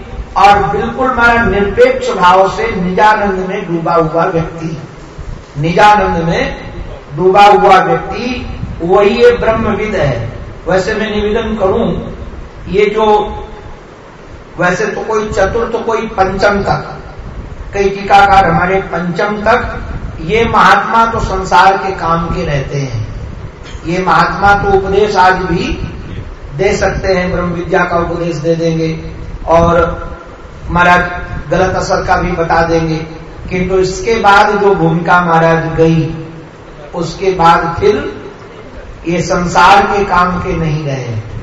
ये संसार के काम के नहीं रहे, इनकी देख रेख संसार वाले ही करेंगे। इनको ये विधि निषेध से बिल्कुल ऊपर चले गए। और महाराज जो इस, ये जो स्थिति है, पदार्था भावनी, ये पदार्था भावनी को हमारा, हमारे जो संत जन हैं, इनको अपने शब्दों में यदि पदार्था भावनी को महाराज ये बुलाते हैं तो यहाँ बाद में इनको वर्णन किया गया है, ब्रह्मविद वरियाम। ब्रह्मविद वरियाम शब्द से महाराज इनको कहा गया, ब्रह्मविद ब्रह्मविद वरियाम शब्द से इनको पुकारा जाता है। और महाराज इसमें जो विशेषता क्या है कि महाराज इस भूमिका में चिरकाल तक दूसरों के द्वारा किए गए प्रयत्न से भी इसमें कोई अर्थों की प्रतीति नहीं होती है। अभिप्राय क्या है? कोई गाली भी दे, तब भी उनको कोई लेना देना नहीं। और बहुत महाराज स्तुति भी करे, तब भी कोई लेना देना नहीं। और जो सप्तम भूमिका है महाराज ये तुर्यगा वैसे तो चतुरी शब्द जो है ना जागृत स्वप्न सुसुप्ति। ये महाराज हो गए जागृत स्वप्न और सुसुप्ति। तीसरी अवस्था है, चतुरी है वैसे ये, चतुर्थ अवस्था। इसी को ही चतुरी में हमारे यहाँ व्याकरण में एक सूत्र है, चूटू। नाम है सूत्र का वो चकार का लोभ कर देता है। चतुरी अवस्था को चकार का लोभ कर देता लोभ मैंने हटा देना। लोभ का अभिप्राय उसको हटा देना। तो चतुरी में यदि चाह हट गया तो क्या हो गया? तुरी है। तुरी अवस्था ये जागृत स्वप्न सुसुप्ति से ऊपर है। ये जागृत स्वप्न सुसुप्ति से चतुरी अवस्था का ही नाम है इसका। तुरिया तो उसमें जो महाराज विराजमान, जो महापुरुष हैं, इसमें शिवम अद्वैतम चतुर्थम मन्यते। ये चतुर्थ शिवम अद्वैतम स्वरूपम। जो अपने को अद्वैत स्वरूप में महाराज जिन्होंने स्थित कर लिया है, ये महाराज ब्रह्म विद वरिष्ठ इनको कहा जाता है। ये ब्रह्मविद वरिष्ठ हमारे संत हैं और इनको भी महाराज कोई लेना देना नहीं। इनको तो अपने शरीर की भी शुद्ध नहीं रहती है। अभी कल मैंने संकेत किया था, एक महात्मा चित्रकूट के पास में थे, हमारे राम को तो पता नहीं। वैसे तो यहाँ जो वर्णन किया गया, आज मैं पढ़ रहा था। इसको कल भी पढ़ा था, किंतु उतनी बार समझ नहीं पाया था। आज तो मैंने जब इन भूमिकाओं को दोबारा पढ़ा, बारंबार पढ़ा तो ये सप्तम भूमिका में रहने वाले समाज में बहुत कम महात्मा पहुँच पाते हैं। हज़ारों लाखों में कोई एक पहुँच पाए। इसमें तो इन्होंने कहा, इस अवस्था में हमारे सनकादि लोग गमन करते हैं। सनक सनंदन, सनातन सनत कुमार। इसलिए इनको किसी से कोई नाराज़गी नहीं, सत्संग सत्संग प्रिय है ये। गमन करते हैं। मैं महाराज बता रहा था कि वो चित्रकूट के पास में हमारी पूरी रनी स्वामी जी महाराज भी, कल मैंने पूछा, जब मैंने वो कहा कि सप्तम भूमिका वाले महात्मा की सेवा में सभी, अभी कुछ दिनों के बाद हमको लगता है सात, आठ साल पहले सांस्कृतिक पूरा सात, आठ साल पहले हुआ। मैं उस समय भागवत करता था, मुझे किसी महात्मा ने बताया कि सप्तम भूमिका वाले कोई महात्मा है तो मैं गया उनके समय। तो देखा महाराज, ऐसी स्थिति में थे। वैसे यहाँ वेद किए गए, मैं बताऊँगा अभी आपको उन वेदों का वर्णन। वो ऐसी स्थिति में थे, कोई उनके ऊपर रख जाए तो दूसरा उठा ले जाए, शौच कर दे तो शौच भी धोने की ज़रूरत नहीं, कोई धुला दे, कोई उठा दे, कोई बैठा दे। लगता था जैसे चेतना शून्य है। लगता था जैसे चेतना शून्य है। तो मैंने देखा एक ब्राह्मण के दरवाजे पर एक पर्यंक पर वो लेटे थे। तो हमने सोचा कि हम सेवा करते हैं, इनकी लगता है इनकी सेवा नहीं होती है। ईश्वर की कृपा से संतों के चरणों में अनुराग होने के कारण एक महीना तक मैं उनकी सेवा में रहा। उनको स्नान कराना, कपड़े पहनाना, बैठा रहता था। एक दिन महात्मा ने बड़ी करुणा की। और वो महात्मा, सायंकाल अंधकार हो रहा था थोड़ा थोड़ा तो महात्मा जी लेते हुए थे, मैंने उनको उठाकर बैठाला था। तो मेरे ऊपर देखकर जैसे कोई बच्चा मुस्कुरा कर छोटा सा बच्चा मुस्कुरा कर देखे, और मेरे को देख करके बोले, ब्रह्मचारी, ऐसे बोले, ब्रह्मचारी जाओ और असंग भाव से जियो। इस शरीर का प्रारब्ध जैसा है, इसको ऐसे पड़े रहने दो। तुम इसको कुछ मत करो हमने कहा, महाराज जी, मुझे रहने का मैंने बोले, नहीं। फिर मैं उसी समय, हमको लगता सात बजे उन्होंने कहा होगा और मैं आठ बजे ही वहाँ से निकल पड़ा प्रणाम करके। रात्रि में चित्रकूट जाके रुका। बहुत उन्होंने रुका, हम रुके नहीं दूसरे लोगों ने। तो महाराज, अधिकतर हमारे साधु जन विद्युत जन उनको मानते थे कि ये महाराज किस अवस्था में विराजमान महापुरुष हैं? सप्तमी भूमिका में विराजमान महापुरुष हैं। राघवेंद्र सरकार इन भूमिकाओं को सुन करके महाराज इनकी बड़ी महिमा कही गई है। ऐसे संत जहाँ महाराज आपको दर्शन करने को मिल जाए। सच में, उनके दर्शन मात्र से ही हमारे जीवन का कल्याण हो जाए। ये ताश भूमि सुजयंती महंतो। जिस भूमि में ये महान सज्जन पुरुष रहते हैं, सैनों को भूमि महाराज उत्कर्ष को प्राप्त हो जाए। सच में, ऐसे महात्मा ही तो तीर्थ को तीर्थ बनाते हैं। भागवत में तीर्थी कुरवंत तीर्थानी, स्वांतस्थेन गदा व्रत ये तीर्थ को तीर्थ बनाने वाले हमारा संत है। अगर संत आप लोग नाराज़ मत होइएगा, चाहे कितने बड़े बड़े आश्रम बन जाए और चाहे कितने बड़े बड़े मंदिर बन जाए, आजकल ही लगी है। बड़ा महात्मा हो जो जिसका बड़ा आश्रम। आजकल महात्मा की व्याख्या बड़ी वही हो गई है। विरक्त शाली हो, वैराग्यशाली हो, बड़ा महात्मा। नहीं, बड़ा पोथा वो हाथ में थोड़ा बड़ा मामला हो।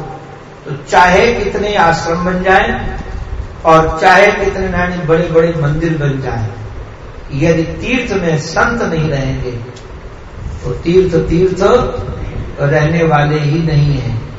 और महाराज गंगा की महिमा भी मैंने निवेदन किया, भागवत के नवम स्कंद में इसको बड़े सुंदर सब ढंग से हमारे वेद व्यास जी महाराज ने स्थापित किया है।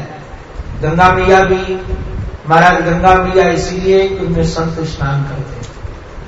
अगर संत स्नान न करे तो गंगा का गंगत्व तो नष्ट हो जाएगा। गंगा जल में जो गंगत्व तो है ना, वह नष्ट हो जाएगा। कारण क्या है? इसलिए तो महाराज गंगत्व तो है उसमें कि हमारे पूर्व संत जन स्नान करते एक बार मुझे याद है स्मरण, हमको लगता है तीन चार साल तो कहो महाराज जी को रामसुदा जी महाराज को चार साल हो गए साइज़ गए ना। उसकी एक साल पहले की बात थी, जब मैं ऋषिगढ़ में आया था, उनके चरणों में, मैं जब ऋषिकेश आता था तो इधर आना होता था। एकादशी थी उस दिन। एकादशी थी, और महाराज जी ने कहा, हमको गंगा स्नान कराने ले चले। और महाराज लोग उनको पकड़कर गंगा स्नान कराने ले गए महाराज जी को। तो मुझे लगता था कि ये महापुरुष, इनको गंगा स्नान करने की क्या ज़रूरत है? शरीर भी रुग्ण था। तो बाद में जो मैं चिंतन करता हूँ, ये अपने को पवित्र करने के लिए महात्मा गंगा जी नहीं नहाते हैं। ये तो पवित्र आत्मा ही है। गंगा जी को पवित्र करने के लिए गंगा में गंगत तो बना रहे हैं। अगर गंगा में गंगत तो नष्ट हो जाए कहते हैं, महाराज, ये भूमिका वाले जो महापुरुष हैं, अभी हमारे जितने भी महापुरुष यदि महाराज जाकर गंगा में स्नान कर लें तो उसकी महिमा बढ़ जाए। वशिष्ठ जी महाराज इस प्रकार से सुना रहे थे। तो हमारे श्री राम जी महाराज ने पूछ दिया कि महाराज, आप बताइए, वैसे तो सुवर्ण में और अंगूठी में कोई भेद नहीं है। सुवर्ण के द्वारा ही अंगूठी बनी हुई है। और विकास विदया कथम हेमो यथा मुने अहंता चात्मना इति यथावत ब्रूही में प्रभो। जैसे अहंता का प्रादुर्भाव होता शरीर के प्रति अहंता की बुद्धि। अहंता से ही बाद में ममता जगती है। यदि अहंता न हो तो ममता का व्यापार होगा ही नहीं। पहले शरीर के साथ अहंता, वैसे तो ये अहंता है, वैसी ही। कैसी अहंता है? जैसे स्वर्ण से बनी हुई अंगूठी है, स्वर्ण से बनी हुई जंजीर है, स्वर्ण से बने हुए आभूषण है, वैसे ही महाराज उस आत्म तत्व में उठने वाली, जैसे महाराज समुद्र से उठने वाली तरंग है। वैसे ही अहंता है वैसे महाराज, अहंता के कारण भी इसमें महाराज बंद कैसे जाता है? जायते अस्थि बरदरते विपरणते अपक्षीयते, विनश्यति, ये सड़ विकार कैसे आने लगते हैं? महाराज, जब ये पूछा, तब हमारे श्री वशिष्ठ जी महाराज ने श्री राघवेंद्र सरकार को बड़े सुंदर ढंग से समझाया है। और एक बात, हमारे श्री राघवेंद्र सरकार को बार बार हमारे श्री वशिष्ठ जी महाराज कहते हैं कि जगत त्रिकाल में है ही नहीं। जगत त्रिकाल में है ही नहीं।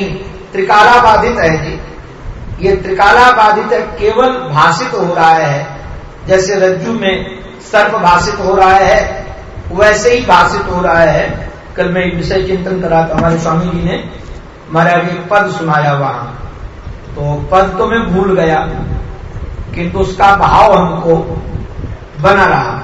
तो भाव बना रहा तो सुबह चिंतन कर रहा था तो हमने फिर उसी भाव को, आप इससे समझ जाएँगे इस कहानी से, ये जगत की क्या अद्भुत कहानी है। वेदांत के आधार पर जगत की कहानी क्या है, इससे आपको सब पता चल जाएगा। कहती है कहानी जो संतों ने बखानी। कहती है कहानी जो संतों ने बखानी। वेदों में, पुराणों में कहते हैं ज्ञानी विज्ञानी।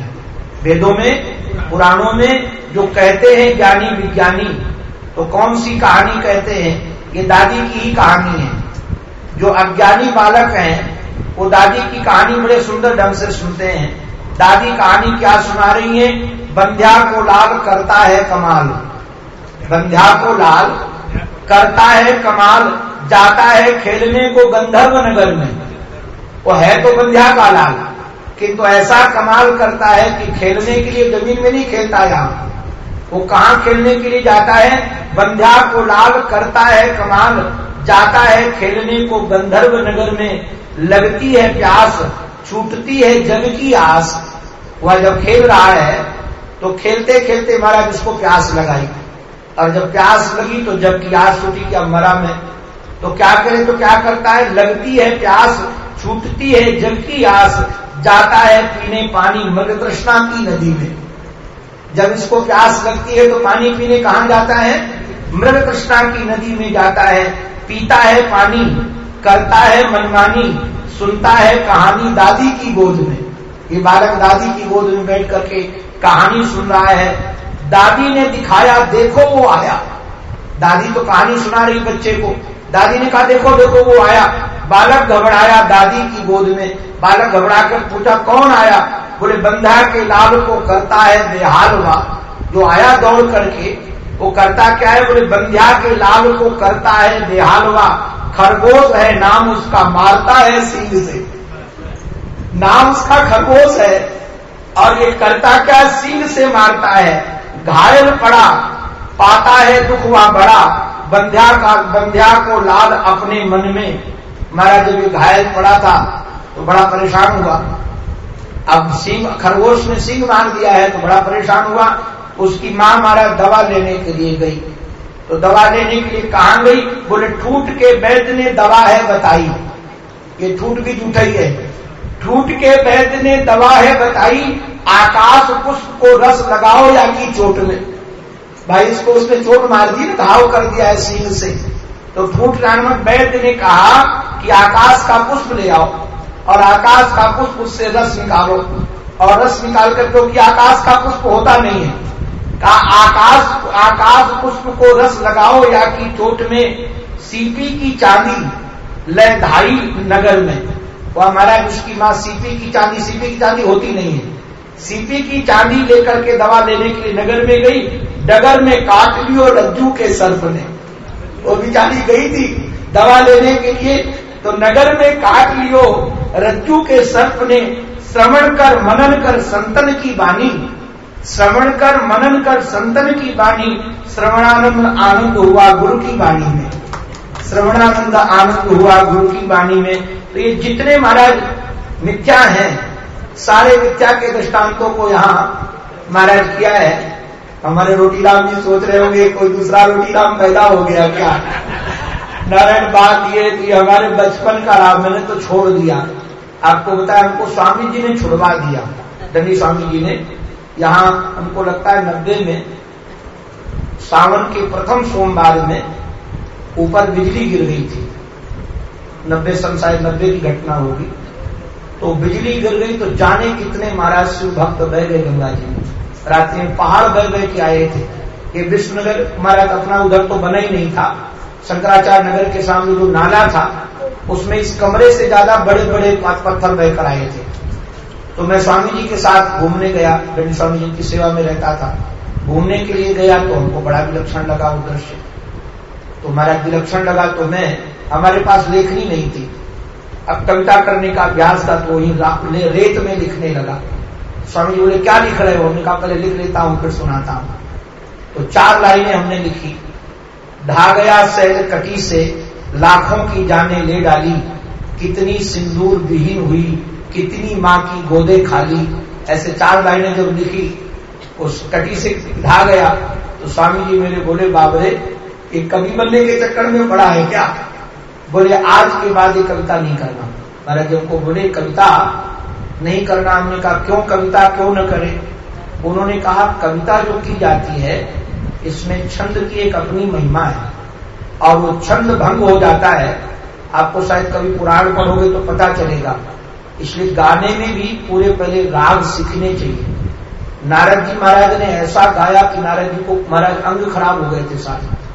आप पुराणों में कथा पढ़ोगे तो सब रागों ने कहा कि तुमने हमारे अंग तोड़ दिए, इसलिए तुम्हारे अंग टूट गए। ऐसे पिंगल शास्त्र है, लिखनी भी। पिंगल शास्त्र है, और जिसमें छंद प्रबंध यदि बिगड़ गया तो कई बार रोग पैदा हो जाते हैं। तो कविता नाराज़ होती है, इसलिए बहुत सजग होना चाहिए। लेखनी में भी तो बंदी मिलाना एक अलग बात है, छंद प्रबंध की रचना, क्योंकि इसमें एक एक अक्षर, कविता के क्या एक एक किस छंद में लिखा गया है, जैसे अनुष्ठुप छंद श्लोक होता है, उसमें आठ ही अक्षर होने चाहिए। आठ आठ अक्षर का छंद। ऐसे जो भी छंद लिखा जाता है तो मैंने तो लिखना छोड़ दिया है, नहीं तो रोटीराम जी के चक्कर में हम भी होते। उसी लाइन में, आज पता नहीं, सुबह सुबह, वो कविता हमको बहुत हमारा जो स्वामी सुनाए थे, उसका भाव गुनगुना रहा था। मैं नोट करके लाया नहीं था तो मैंने सोचा कि लाओ, हम ही लिख देते तो सब दोस्त महाराज केवल उदाहरण उनके थे, फिर उस कथा को थोड़ा हमने अलग से जोड़ करके तो सच में कहानी जगत की तो यही है। जगत की जितनी भी कहानी है, ये बंध्यापुत्र के समान ही है। इसके अलावा कुछ नहीं है। श्रीरामचंद्र सरकार को हमारे श्री वशिष्ठ जी महाराज कहते हैं, तुम या सदा सर्वदा चिंतन करो, तुम शुद्ध हो, मुक्त हो, बुद्ध हो। ये संसार स्वप्नवत है। न कभी हुआ था, न कभी होगा, न कभी है। और इस प्रकार से चिंतन करो। इसमें कहा चाहे समाधि में रहो और चाहे कार्य में रहो। इसका चिंतन करते रहना चाहिए। ध्यान दीजिएगा। हमारे वशिष्ठ जी महाराज ने श्री राम जी को जब योग वशिष्ठ सुनाया है तो उस समय श्री राम जी महाराज की उम्र थी सोलह साल की। और सारी लीला उसके बाद ही ठाकुर जी की हुई है। तो ब्रह्म विद्या सुनने के बाद वो कायर नहीं बने, या कर्तव्य को छोड़ने के बाद पलायन नहीं किया उन्होंने। जितने कर्तव्य थे, सारे के सारे कर्तव्य किए और सदाचार पूर्वक ही किए। किसी में आचरण भ्रष्ट नहीं हुआ। ये जो महारामायण है, ये रामायण पहले की है। रचना के तो बाद में हुई है, किंतु सुनाया गया पहले है। राम जी को सोलह साल की उम्र में सुनाया गया। उसके बाद तो रावण आदि का वध, धर्म की स्थापना, भाई के प्रति क्या भाई का कर्तव्य है? कैसी उदारता, कैसी सहिष्णुता एक भी गुणों का उन्होंने परित्याग नहीं किया। तो ब्रह्म विद्या हमारे मानस में आ जाए तो ये पतन के लिए नहीं है। हमारे जीवन में सदाचार आए, हमारे जीवन में आचार आए, हमारे जीवन विचार आए, क्योंकि इंद्रियों की पवित्रता सदाचार से होती है और बुद्धि की विचार से होती है। तो बुद्धि को विचार से भर दिया जाए, इसलिए हमको महाराज, वो हनुमान जी महाराज का भाव बहुत अच्छा लगता अध्यात्म रामायण का। देव दृष्टा तो देव की दृष्टि से तो हम सदा आपके दास हैं, और यदि तत्व की दृष्टि से देखा जाए तो जो आप हैं वो हम हैं। तो तत्व दृष्टि तो यही है, किंतु शरीर की दृष्टि से तो यह सदा भाव बना रहे, हमारे जीवन में सदाचार बना रहे। अब हम पूज्य स्वामी जी से, हमारे जुड़ी स्वामी जी महाराज से प्रार्थना करेंगे। यहाँ हमारे सब महात्मा विद्वान हैं, सब कथा करते हैं। पूज्य स्वामी जी महाराज से, क्योंकि समय ज़्यादा नहीं लेंगे हम लोग। ठीक टाइम पर, क्योंकि यहाँ बहुत लोग सत्संग में जाने वाले हैं। तो अभी पंद्रह मिनट हमारे पूज्य स्वामी जी महाराज हमको आशीर्वचन देंगे। स्वामी जी, कल ही पता चला हमको तो पता भी नहीं था। स्वामी जी श्रीमद भागवत महापुराण की भी कथा करते हैं। ये हमारे पूज्य जन संत जन करुणा करके पधारे। हम सबके पावन चरणों में बारंबार प्रार्थना करते हैं। और एक मेरी प्रार्थना आप सबसे और भी है। हमने सुना है कि जिससे कुछ लिया जाए उसको कुछ देना ज़रूर चाहिए। क्योंकि तो विद्या जब हम लेते हैं तो गुरु शुश्रूषया विद्या। कि तो गुरु की सेवा करके विद्या ली जाए, अथवा धनेन धन के द्वारा विद्या ली जाए, अथवा विद्या विद्या। विद्या पढ़ा दी जाए, तब विद्या ली जाए उनसे। ये विद्या लेने के तो आप लोगों ने सात दिन तक ये योग वशिष्ठ सुना है तो बिना दिए तो जाना मत। किंतु आप लोग ये मत समझना कि यहाँ दक्षिणा चढ़ानी है। दक्षिणा तो आप बिल्कुल मत चढ़ाओ। किंतु नारायण, हमारी एक दक्षिणा इसकी जो हम आपसे बिना मांगे आपको छोड़ेंगे नहीं। वो जो संतों के भी चरणों में बारंबार हमारी प्रार्थना है, हमको अपने पुरुषार्थ पर तो बल है नहीं। आप सब ऐसा आशीर्वाद दीजिए हमें कि जिस लिए हम घर छोड़कर निकले हैं, उस महाराज लक्ष्य से हमारी चित्तवृत्ति कभी च्युत न हो। हमारी मति हमारी रति हमारी गति एकमात्र भगवान के ही चरणों में लगी रहे उनके चिंतन में ही चल लगी रहे कभी इधर उधर भटके नहीं आप सब विज्ञ जन हैं आप सब सुधी जन हैं साधक जन हैं इस पावन पवित्र भूमि में रह रहे हैं। आप सबका आशीर्वाद हमको ज़रूर लगेगा। तो आप आशीर्वाद ज़रूर लेकर के जाइए। आप सबसे हमारी प्रार्थना है। बस यही इसकी दक्षिणा है। और जिनकी की कृपा के कारण यह सहयोग बना। इसमें बहुत हेर फेर करना पड़ा, क्या करें? कुछ साधन नहीं था। किंतु लगता था किसी ढंग से ऋषि के साना हो जाएगा। उस परिवार की ओर में हम प्रार्थना करते हैं, ठाकुर जी सतीमती आप सब ये परिवार के हैं, ये आयोजन रखा, जिससे हम सात दिन पर्यंत इस आर्ष ग्रंथ का चिंतन कर सके। क्योंकि हमारा तुम्हारा तो चिंतन का ही लाभ इसका सबसे बड़ा मिला। हमको लगता है हमारे सेवक दिन जानते हैं 24 घंटे में लगभग हम 10 घंटे पढ़े हैं। इसका चिंतन करने के लिए, इस विधि से हमारा चिंतन करने का तीन घंटे से ज़्यादा सोए नहीं है।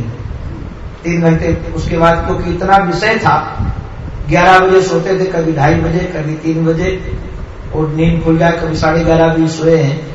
तो ये जो साधना में सात दिन जीवन रहा, सच में हमारी तो साधना हो गई।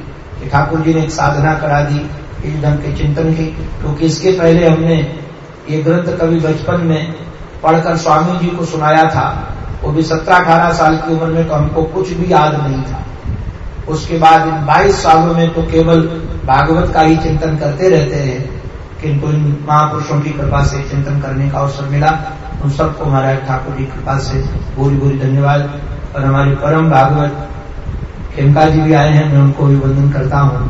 हमारा स्वभाव उनको पता तो चला था कि यहाँ है, किंतु मैं जा नहीं पाया। वह स्वयं व्यस्त उसमें होकर आए हैं। तो आप सबको शुद्धजनों को अपने ठाकुर के रूप में ही देखकर बारंबार वंदन करता हुआ, कि ठाकुर के ही चरणों में वाणी को समर्पित करता हूँ। उनके चरणों में यही प्रार्थना है, हमारी मति, हमारी रति हमारी गति, एकमात्र उनके चरणों में बनी रहे। इसी प्रार्थना के साथ कि उनकी वाणी उन्हीं के पावन पवित्र चरणार्विंदों में समर्पित बोलो भक्त वत्सल भगवान की सदगुरुदेव भगवान की वृंदावन बिहारी लाल की जय। जय श्री राधे, जय जय श्री राधे, जय जय श्री राधे। पूज्य स्वामी जी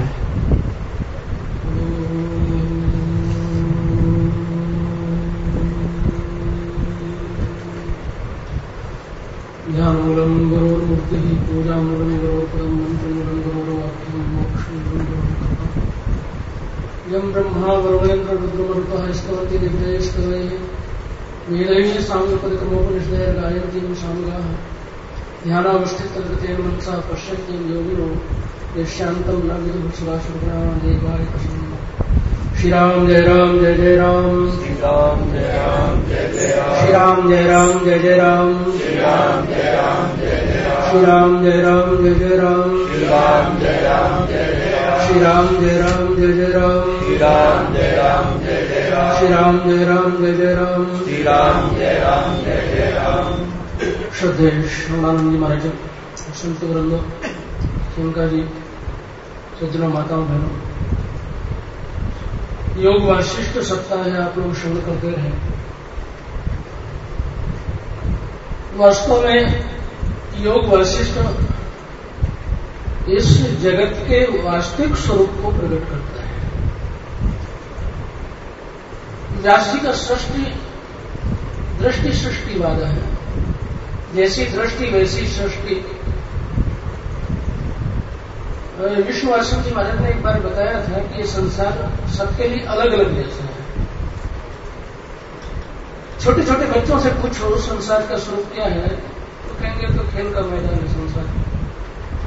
क्रीड़ास्पदम बालिका नाम युवानाम भोगास्पदम जगत। नौजवानों से पूछो तो खूब मौज मस्ती करें, आनंद से।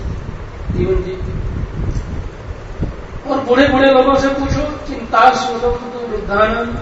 कहते हैं, अब तो भगवान पूछ ले तो बड़ा शुद्ध ले ले। आँख दिखती नहीं, पैर अपना ही बोझा नहीं उठा पाते कान सुन नहीं पाते। पर अगर संतों महापुरुषों से पूछो संसार का स्वरूप तो ज्ञानी साधनास्पद उच्चत है। संत लोग इस जगत को साधनास्पद, नर्तन भवबारित कर वर्णन करते उपनिषदों में एक एक ही श्लोक में शौनक जी के प्रश्न करने पर मुंडक उपनिषद में वर्णन है। एक श्लोक में ही अंगिरा मुनि ने संसार के स्वरूप को विवेचन कर दिया। एक श्लोक में। परमात्मा इस जगत को कैसे उत्पन्न करता है, कैसे संचालित करता है, उसको कुछ करना पड़ता है क्या इस संसार के लिए? कई तरह के प्रश्न एक श्लोक में ही समाधान कर दिया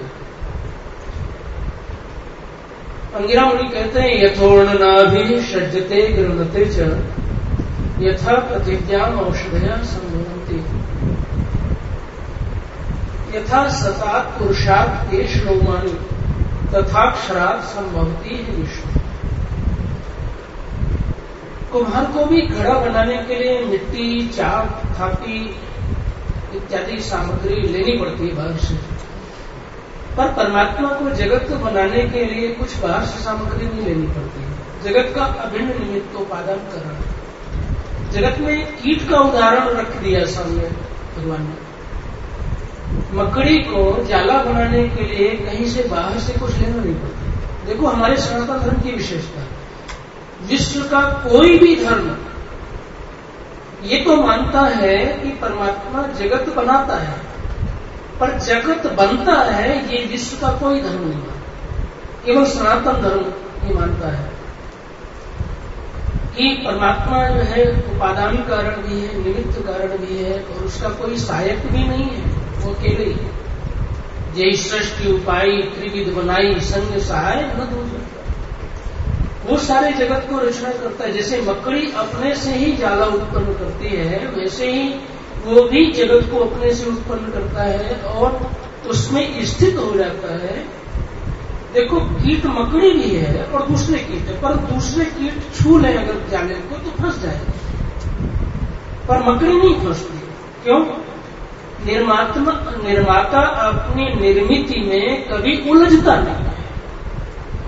इसीलिए जैसे मकड़ी नहीं फंसती है, आप अगर देखें, मधुमक्खी भी मक्खी है। पर वो शहद बनाती है। आप अगर दूसरी मक्खी को इस शहद में गलती से भी छू जाए तो पंख चिपक जाएँगे डूबी मर जाएगी। पर मधुमक्खी को अगर शहद के अंदर तक डाल दो तो थोड़ी देर में ही वो ऊपर उठ के आ जाएगी और पंख फड़फड़ा के उड़ जाएगी। अंदर तक डुबा दो अगर मधुमक्खी क्योंकि वो शहद को बनाने वाली है, इसलिए उसमें नहीं उसमें नहीं डूबती।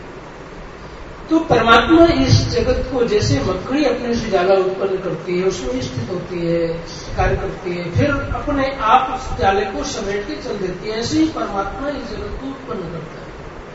लीला करता है, निवास करता है, बाद में अपने में समेट लेता है। यथा प्रतिज्ञा औषधया संभवंती। जिस प्रकार से पृथ्वी से विभिन्न प्रकार की वनस्पतियाँ, औषधियाँ उत्पन्न होती हैं, वैसे ही ये विभिन्न प्रकार की सृष्टि उत्पन्न होती है। आप देखें अगर,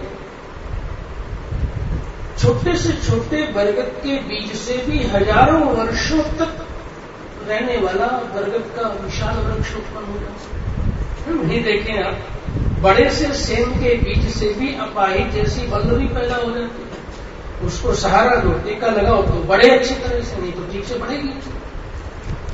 पर कभी कोई पृथ्वी को दोष देता है क्या ऐसा क्यों कर रही है? संसार में कोई अपाहिज विकलांग गरीब घर में भी पैदा हो जाता है, जन्मजात रोगी पैदा हो जाता है, कोई अरबपति घर में पैदा होता है, पूर्ण स्वस्थ, मस्त पैदा होता है। तो भगवान ये पक्षपात क्यों करते हैं? उनको कोई दोष नहीं लगता। क्यों? जैसे पृथ्वी को कोई कहे तो कह देंगे कि जिसका जैसा बीज है वैसे ही उससे उत्पन्न होगा। उसी प्रकार से जिसके जिस प्रकार के कर्म है, उसी प्रकार की ये रचना वो उसी प्रकार का जन्म परमात्मा से होता है। परमात्मा जैसे पृथ्वी को दोष नहीं लगता, वैसे परमात्मा को भी दोष नहीं क्या जगत को उत्पन्न करने के लिए कुछ करना पड़ता है? कहते हैं यथा सता पुरुषार्थ के श्लोक यहाँ तो सभी के सभी लोग पुरुष लोग, दाढ़ी पूछने वाले हम यदि पूछे कि दाढ़ी मूछे उगाने के लिए आपको कुछ कोशिश करनी पड़ी क्या? तो क्या कहेंगे? कोई कोशिश नहीं करनी फिर पूछे अगर कि जब नहीं करनी पड़ी तो कैसे हो गए? तो बहुत समझदार से समझदार व्यक्ति भी यही उत्तर दे सकता है कि जब इसका समय आ गया, तब ये हो गया। उसी प्रकार से परमात्मा को जैसे हमको दाढ़ी मूछे उगाने के लिए स्त्रियों को यौवन के विकास के लिए उनको कुछ नहीं करना पड़ता। समय आने पर हो जाता है। उसी प्रकार से परमात्मा को सृष्टि उत्पन्न करने के लिए भी कोई प्रयास नहीं करना पड़ता। जब सृष्टि का समय आता है तो जैसे व्यक्ति की दाढ़ी नीचे हो जाती वैसे ही वो सृष्टि परमात्मा से उत्पन्न हो जाती और फिर अगर ये प्रश्न करें क्या संचालित करने के लिए भी परमात्मा को कुछ करना पड़ता है? नहीं करना पड़ता। क्यों? जाड़े के दिनों में यहाँ भी कई लोग तो पैकेट होते हैं ज़्यादा खाते खूब मस्त तो गले तक खा लेंगे और सुबह फिर भूखे के भूखे। पूछे, क्या पचाने के लिए कुछ करना पड़ा? नहीं मैं आप पच गया श्वासों को चालू रखने के लिए कुछ करना पड़ता है। याद रखना पड़ता है क्या कि श्वास चला रहा, भूल जाए सुसुप्ति में भी चलती रहती है। तो जिस प्रकार से भोजन पचाने के लिए कुछ नहीं करना पड़ता श्वासों को चालू रखने के लिए कुछ नहीं करना पड़ता उसी प्रकार से परमात्मा को भी जगत संचालित करने के लिए कुछ नहीं करना पड़ता स्वतः संचालित होता रहता है। हाँ कभी जैसे हम लोगों को जो है कोई रोग हो जाए व्याधि हो जाए तो फिर औषधि लेनी पड़ती है कभी ऑपरेशन करना पड़ता है। हाँ, तो वैसे ही भगवान को भी अंग्रेज़ी में ऑपरेट माने होता है पालन करना। तो परमात्मा को भी जो है कभी कभी सृष्टि के संचालन में कोई विघ्न आ जाए तो उसको भी ऑपरेशन करना पड़ता है। दुष्ट आ जाए न्यायी अत्याचारी आ जाए तो उनका श्रृंगार करना पड़ता है, धर्म स्थापन करना पड़ता है। तथा सता कृष्ण यथाक्षरात संभवती विषम, तथा क्षर उसी प्रकार से उस अविनाशी परम तत्व से सारा जगत अपने आप उत्पन्न होता है, संचालित होता चलता आप लोगों ने एक सप्ताह तक बड़े सौभाग्य का समय मिला। ये श्रवण किया योग वशिष्ठ कल महाराज जी ने बड़ी अच्छी बात योग वशिष्ठ में कही थी कि मन का पूर्ण निर्वासनिक हुए बिना जन्म मरण के चक्र से मुक्ति नहीं हो सकती। आप लोग पकड़ पाए चाहे न पकड़ पाए, पर हम लोग पकड़ लेते हैं बात। देखो, मन और चित्त को जो है, कई विद्वान एक ही मानते और एक ही गिनते हैं। अंतरकरण चतुष्टय को दो गिनते हैं। मन चित्त को एक गिन लेते हैं और बुद्धि अहंकार को एक गिन लेते हैं। और दो कह करके भी वर्णन कर देते हैं उसको, है? कहीं सत्रह तत्व शरीर के साथ जाते हैं, ऐसा वर्णन है ना तो वहाँ पर मन चित्त को एक माना गया है सत्रह तत्वों में, और बुद्धि अहंकार को एक करके माना गया है। इस प्रकार से वो सत्रह तत्वों के साथ वो आत्म तत्व जो जाता है ना सत्रह तत्व तो वो सूक्ष्म शरीर को माना है। हम आपको महाराज जी तीन प्रकरण सुनाए, चार प्रकरण बकाया रह गए महाराज जी के। हम जानते हैं कि जिनको महाराज जी से इसमें वो फिर वो चार प्रकरण भी सुनना नहीं छोड़ेंगे। मुझे लगता है। उनको लगेगा कि तीन ही सुन पाए अभी चार बताए रह गए। मैं आपको बत्तीस हज़ार श्लोक क्यों समझ बत्तीस बत्तीस। बत्तीस हज़ार श्लोकों के योग वाशिष्ठ का सार योग वाशिष्ठ के ही एक ही श्लोक में बता देता हूँ। मात्र एक श्लोक। वशिष्ठ जी महाराज ने राम जी से कहा, ही राम जी, उसी की व्याख्या जो कल महाराज ने कहा, मन के पूर्ण निर्वासनिक हुए बिना जन्म मृत्यु की निवृत्ति नहीं हो सकती। उसी को, इस श्लोक में जो है, राम जी से कहते हैं राम जी, दो द्वौ क्रमो चित्त नाशस्तु, योगो ज्ञानम च राघवो दो ही चित्त नाश के उपाय हैं। एक तो योग और दूसरा ज्ञान। योग वृत्ति निरोधश्च। ज्ञानम सम्यक व्यक्षण कहते हैं, चित्त नाश के दो ही उपाय हैं। ये राम जी, एक उपाय तो योग है और दूसरा ज्ञान है। उससे चित्त नाश होता है। और चित्त नाश हुए बिना उसी की व्याख्या है, कर रहा हूँ, महाराज जी के शब्द है ना? चित्त नाश हुए बिना जन्म मरण की निवृत्ति हो ही नहीं सकती। चित्त नाश करते तो कहते हैं, योग योग वृत्ति निरोधष्ट योगो वृत्ति निरोधष्ट योग क्या है? चित्त वृत्ति को एक परम तत्व में अच्छी प्रकार से विलीन कर देना, ये योग है। और दूसरा, ज्ञानम सम्यक व्यक्षण ज्ञान क्या है? ठीक प्रकार से उस परम तत्व को जान लेना ये ज्ञान है। ठीक प्रकार से जानना क्या? अभी महाराज जी ने बताया कि दो तरीके हैं उसको जानने के। एक बार बुढ़िया मामा जी, महाराज को बहुत साधना करने पर भी जब कुछ अनुभूति नहीं हुई तो नास्तिकता आ गई थी और उन्होंने सारा अपना कुंभा चला फेंककर गंगा जी में आत्महत्या करने को कूदने को तैयार हो गए तो एकदम मन में आया कई लोग भगवान को नहीं मानते तो क्या सब आत्महत्या कर लेते क्या मैं क्यों आत्महत्या करूँ? और नास्तिकता सवार थी तो शिवलिंग के ऊपर पैर रख करके मंदिर में सो गया। नास्तिकता सवार हो गई थी और भगवान भी कभी कभी अजीब लीला करते उस समय स्वप्न में ही सारी शंकाओं का भगवान ने प्रकट होकर स्वप्न में समाधान किया। अभी सुन रहे थे ना वो। तो एक तरीका तो महाराज जी ने बताया। नेति नेति नेति शेषितम यत परम पदम निराकर्तुम शक्यत्व तदस्मीति सुखी भव।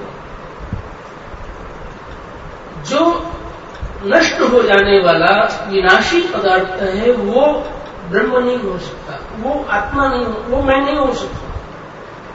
बस बैठकर ये चिंतन करता चला जाए, चिंतन करता चला जाए और जो अविनाशी बच जाए, वो मैं हूँ, ये जानकर के सुखी हो जाए एक ये, दूसरा महाराज जी बोलते बोलते आगे बढ़ गए, दूसरा नहीं। दूसरा तरीका ये है कि जितने भी चैतन्य तत्व हैं, वो परमात्मा का स्वरूप है। सम्यक वीक्षण ये पूर्ण ज्ञान है कि जितना भी जहाँ चैतन्यता, जहाँ भी दिव्यता दिखाई पड़ती है, भागवत में ध्रुव जी वो स्तुति करते हैं योत प्रविश्य ममवाच निमाम प्रसुप्ता संजीव्यक्ति शक्ति धरा सुधामना अन्य हस्त चरण संरक्षगारी प्राणान्नमो भगवती पुरुष जो मेरे हाथ पैर इत्यादि को सारे अंगों को अंतकरण में प्रवेश करके चेतना प्रदान कर रहा है, वो प्राण स्वरूप से सबको चेतना प्रदान कर रहा है, उसको हम प्रणाम करते हैं, ये स्वरूप में स्तुति की। वास्तव में सर्वत्र ब्रह्म तत्व का दर्शन हो, चैतन्य तत्व का दर्शन हो तो दूसरा उपाय है। तो इस प्रकार से चित्त नाश होता है और फिर पुनर्जन्म नहीं होता। चित्त शब्द में, बस इतने कह के वाणी को विराम दे देंगे। चित्त ये अगर कह दिया जाए, इस एक शब्द को दो शब्दों में परिवर्तित कर दो तो चित्त और ता, ये कर सकते हैं। तो चित्त नाम है, परमात्मा का। हम बोलते हैं ना, भगवान के तीन नामों को मिलाकर एक साथ बोलते हैं, सत, चित्त, आनंद। तो चित्त नाम परमात्मा का है। और ता क्या है? तकारो विषयाध्यास जन्म जन्मांतर की विषय वासनाओं के जो संस्कार है वही तकार है। अगर विषय वासनाओं के संस्कार हट जाए तो वो चित्त तत्व, परम तत्व प्रकाशित हो जाएगा और बस जीवन धन हो जाएगा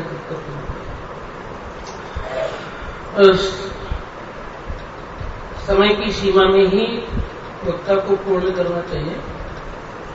वैसे तो मैं आपकी मुंबई में भी खूब कथा कहने के लिए आता रहता हूँ। आपके प्रेमपुरी आश्रम में जब तीन वर्ष पूर्व सत्संग हाल का उद्घाटन हुआ था, तभी मुझे आमंत्रित किया गया था। वक्ता बहुत थे, पंद्रह मिनट संबोधन किया था।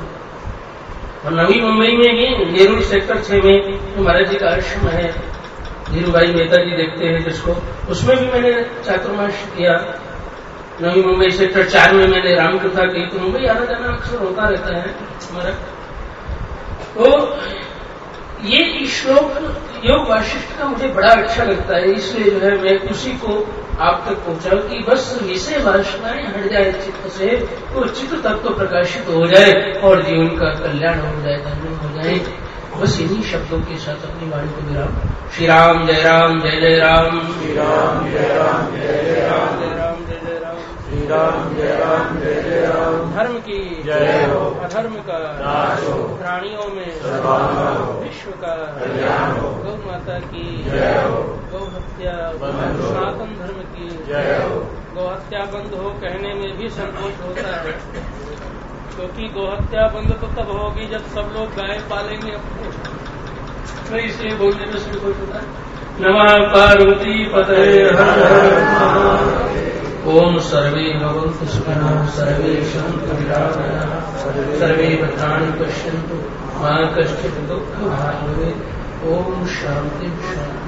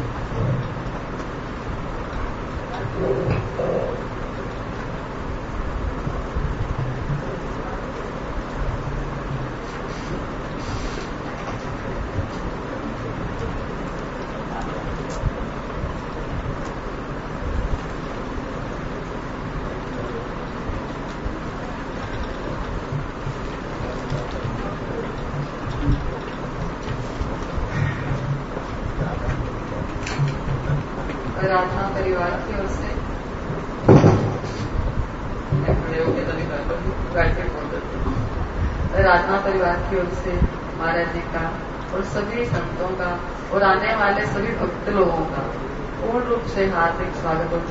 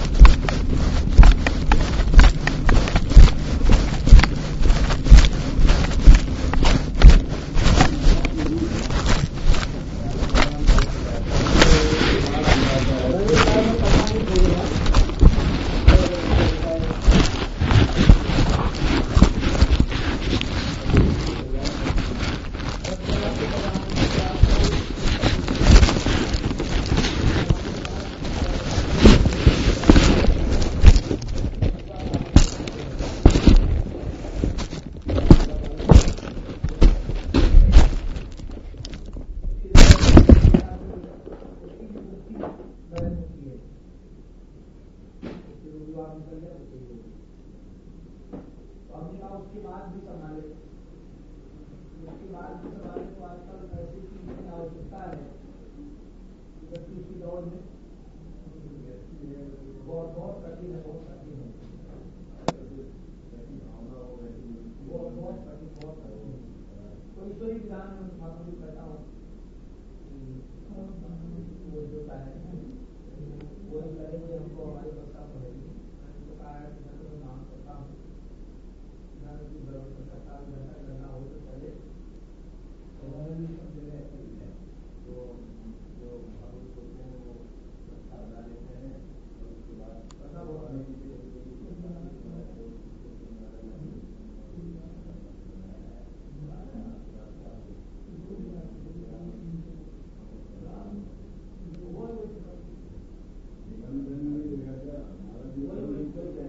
आप जो कह रहे हमारे भारत की कल्पना वाली है कहते थे कि ये पहले के आत्मा था नहीं बात करते जीवन दिख रहा है तो उससे ज़्यादा बुद्धि लगाए ज़्यादा बुद्धि लगाएँगे ना बुद्धि मिल जाए बहुत गड़बड़ होगा हम तो अपनी पता नहीं होगा उन्होंने पता उन्होंने पता वो जनार्दन जी की जाति की बात क्या हुआ कि वो शक्ति जो थी हम आम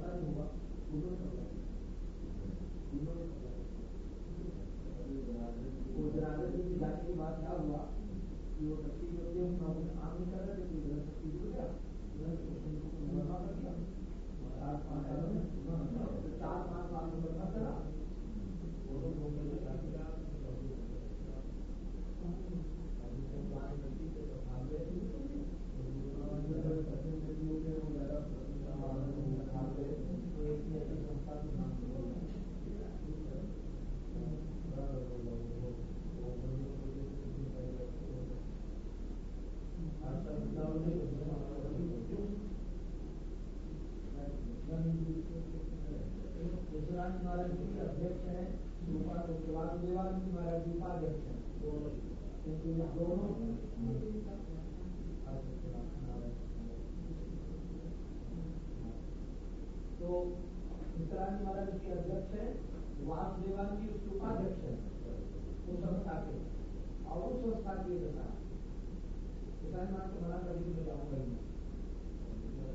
वो नहीं जाते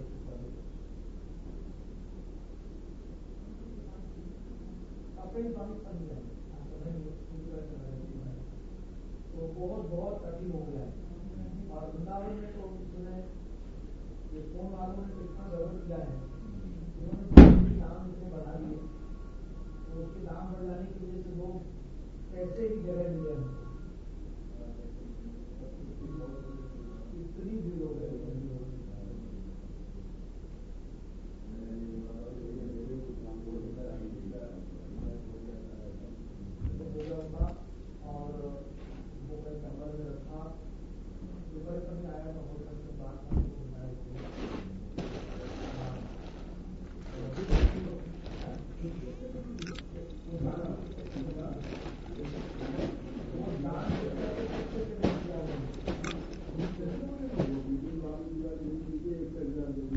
जी कपड़े तो सब आ ही गए ना?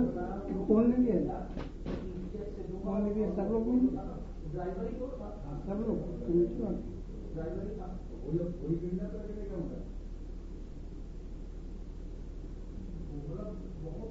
मैंने बोला तो महाराज मत दो फिर कुछ नहीं लेगा। उनमें सो जाए ऐसा निष्ठावान ब्राह्मण का। ब्राह्मण के सेवन में महाराज जी के साथ है? महाराज जी सब कुछ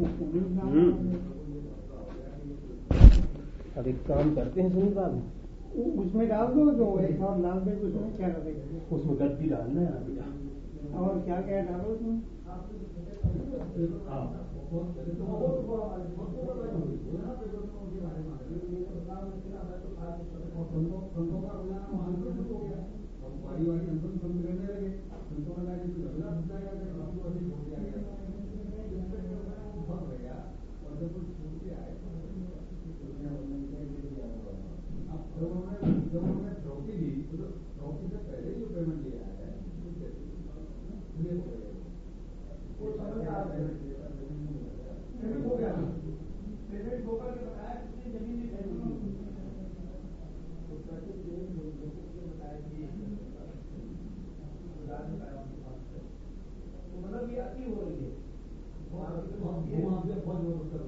आप देखिए मैं बताता हूँ जिसके निष्ठान महाराज जुझारू अध्यक्ष है वासुदेव वाले दो लोग शंकराचार्य संस्था में हाँ और उन दोनों हो गया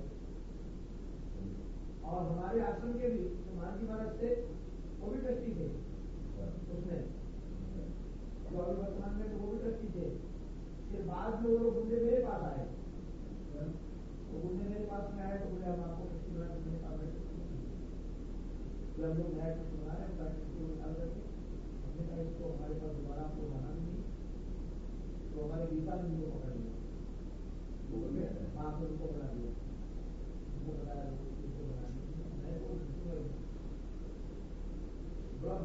अच्छा वो ट्रस्टियों में आपस में द्वेष था पहले ट्रस्टी थे उनके आपस में चर्चा तीन चार साल से लोग कुछ मीटिंग मीटिंग कहीं कर नहीं रहे थे तो आप क्या हुआ कि मैंने करना चला था उससे उसने करना कर दिया कि इसमें लोगों का धंधा है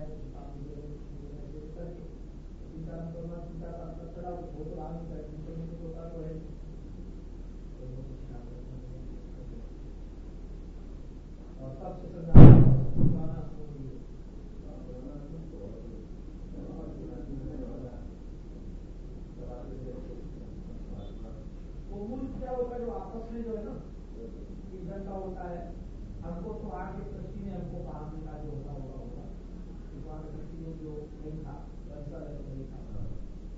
तो उसने कहा कि पूजा बाबा आश्रम में ट्रायल हुआ है और फिर प्रयोग आपके आश्रम होने वाला है। तो फिर पूजा- तो बोले कि पूजा बाबा में तो कुछ है नहीं पूजा बाबा में तो कुछ है नहीं। माल पता नहीं कुछ तो अपने ट्रस्ट में माल बहुत है और ज़मीन बहुत है। तो उनका उद्देश्य ये है कि अगर यहाँ सफल हो गए तो वहाँ प्रयास करेंगे अच्छा हमारी जो जो ट्रस्टी उनको दिया तो है कब्जे में कब्जे में ले लिया और जैसे जैसे वो आश्रम तो बहुत कम जगह हमारे पास जगह बहुत जैसे गीता जी को पेट में ले उन्होंने वो एक जगह ले लिया उसने एक ट्रस्टी को और ले लिया दो को लिया अब दो को उन्होंने ले लिया है। अच्छा ये ज़मीन भी हमारे पास उसने भी बात बना है वहाँ पर आपको दंड हो जाते हैं एक ओवेंस कंपनी है वहाँ जी के पास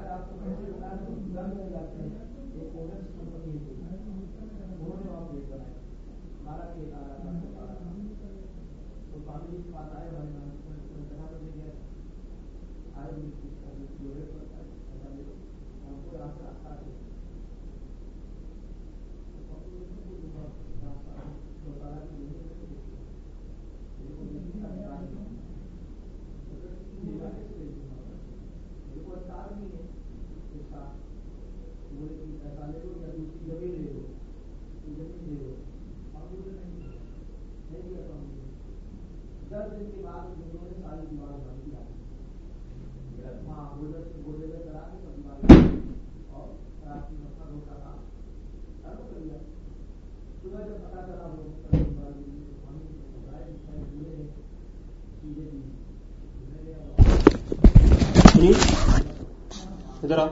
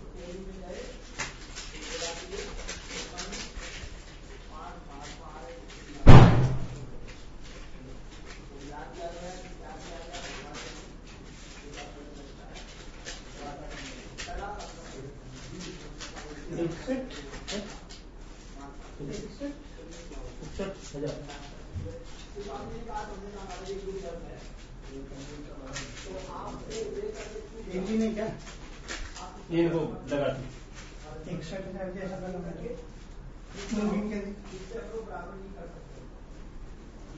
देख तो। लगा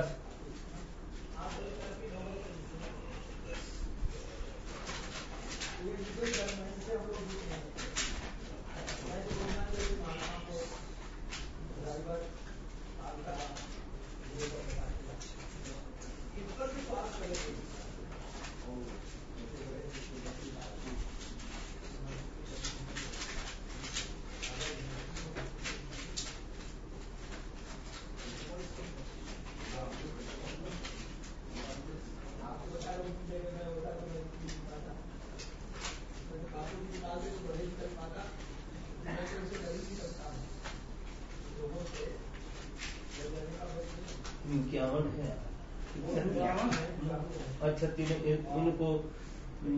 एक एक हज़ार मान दी एक कितना?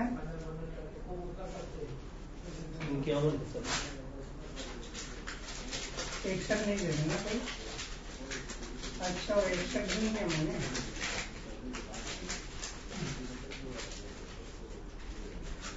एक बार के देखो कितना? दो का एक का। एक।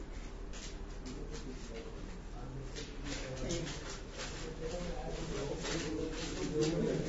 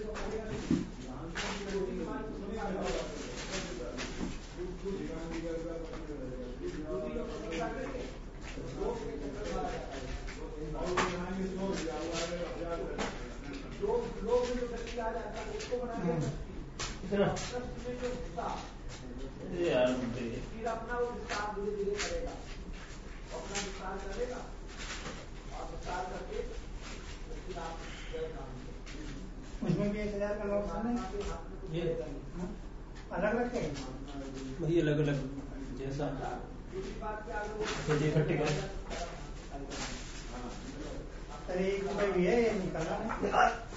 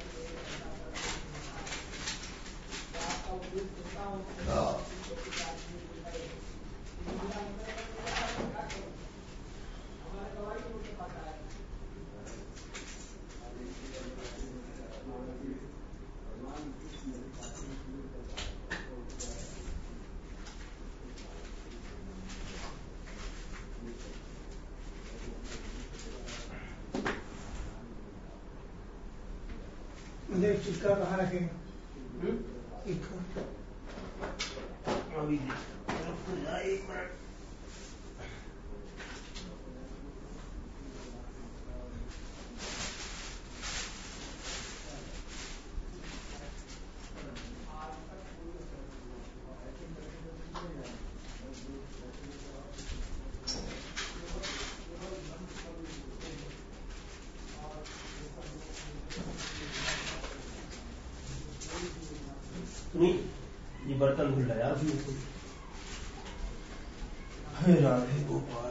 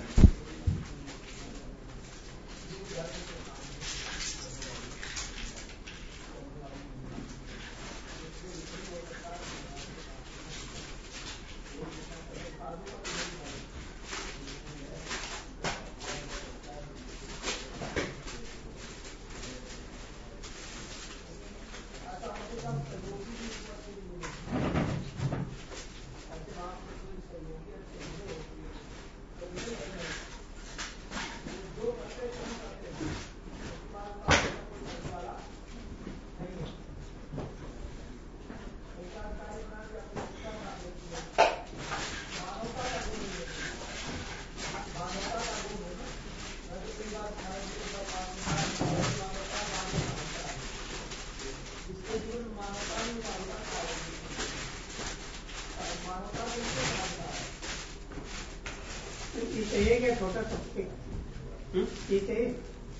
वो लगेगा अपन। ये? बोलो। लिफाफा नहीं चाहिए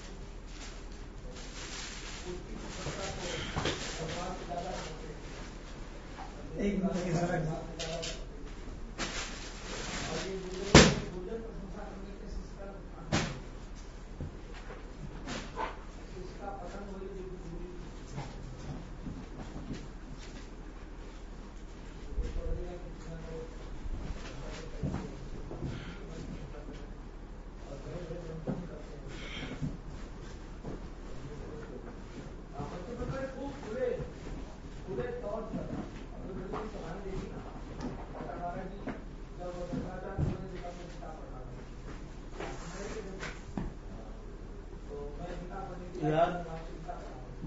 उसके नीचे देखना वो नहीं दिख रहा ठाकुर जी का। क्या? ठाकुर जी रखने वाला डिब्बा। इसके नीचे।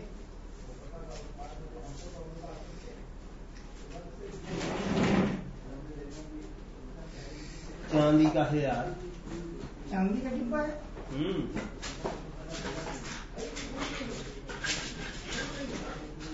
ये नहीं ये नहीं ये तारे ये भी गया ना भूलना मत उनका है हम्म। शिवलिंग नाम इधर तो नहीं है भैया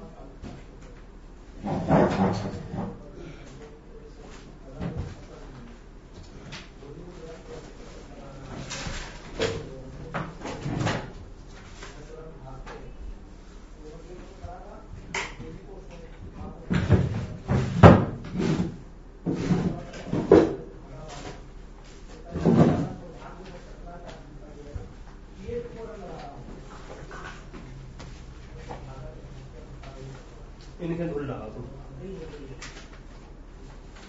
लिफाफा के सब ठीक है स्वामी जी पहले बोलते शुभ है उनका रात दर्शन जो भी इधर उधर उठा ले ये भी पैक करना है हम्म? संहिता का दर्शन चालू करते हैं तो उसका करेंगे बाद में वो रात्रि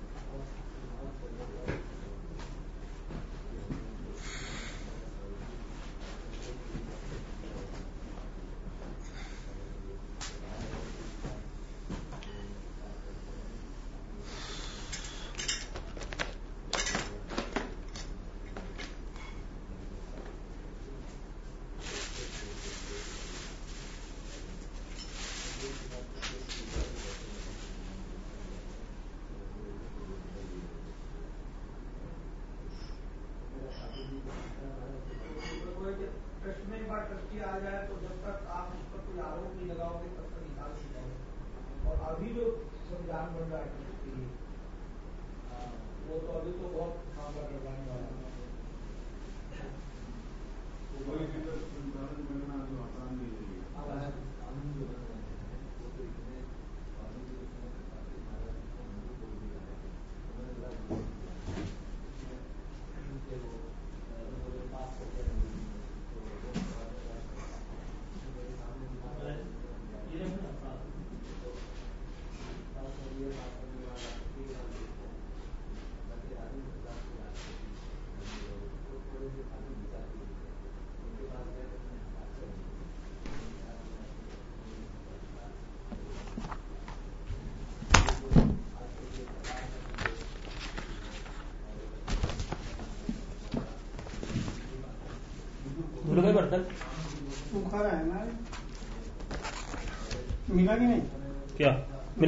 मिल हाँ?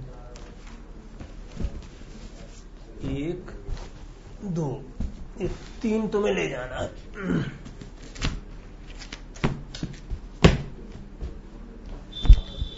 वृंदावन में ले जाना। हम्म? वृंदावन में जाना। एक एक हम्म। सिक्का और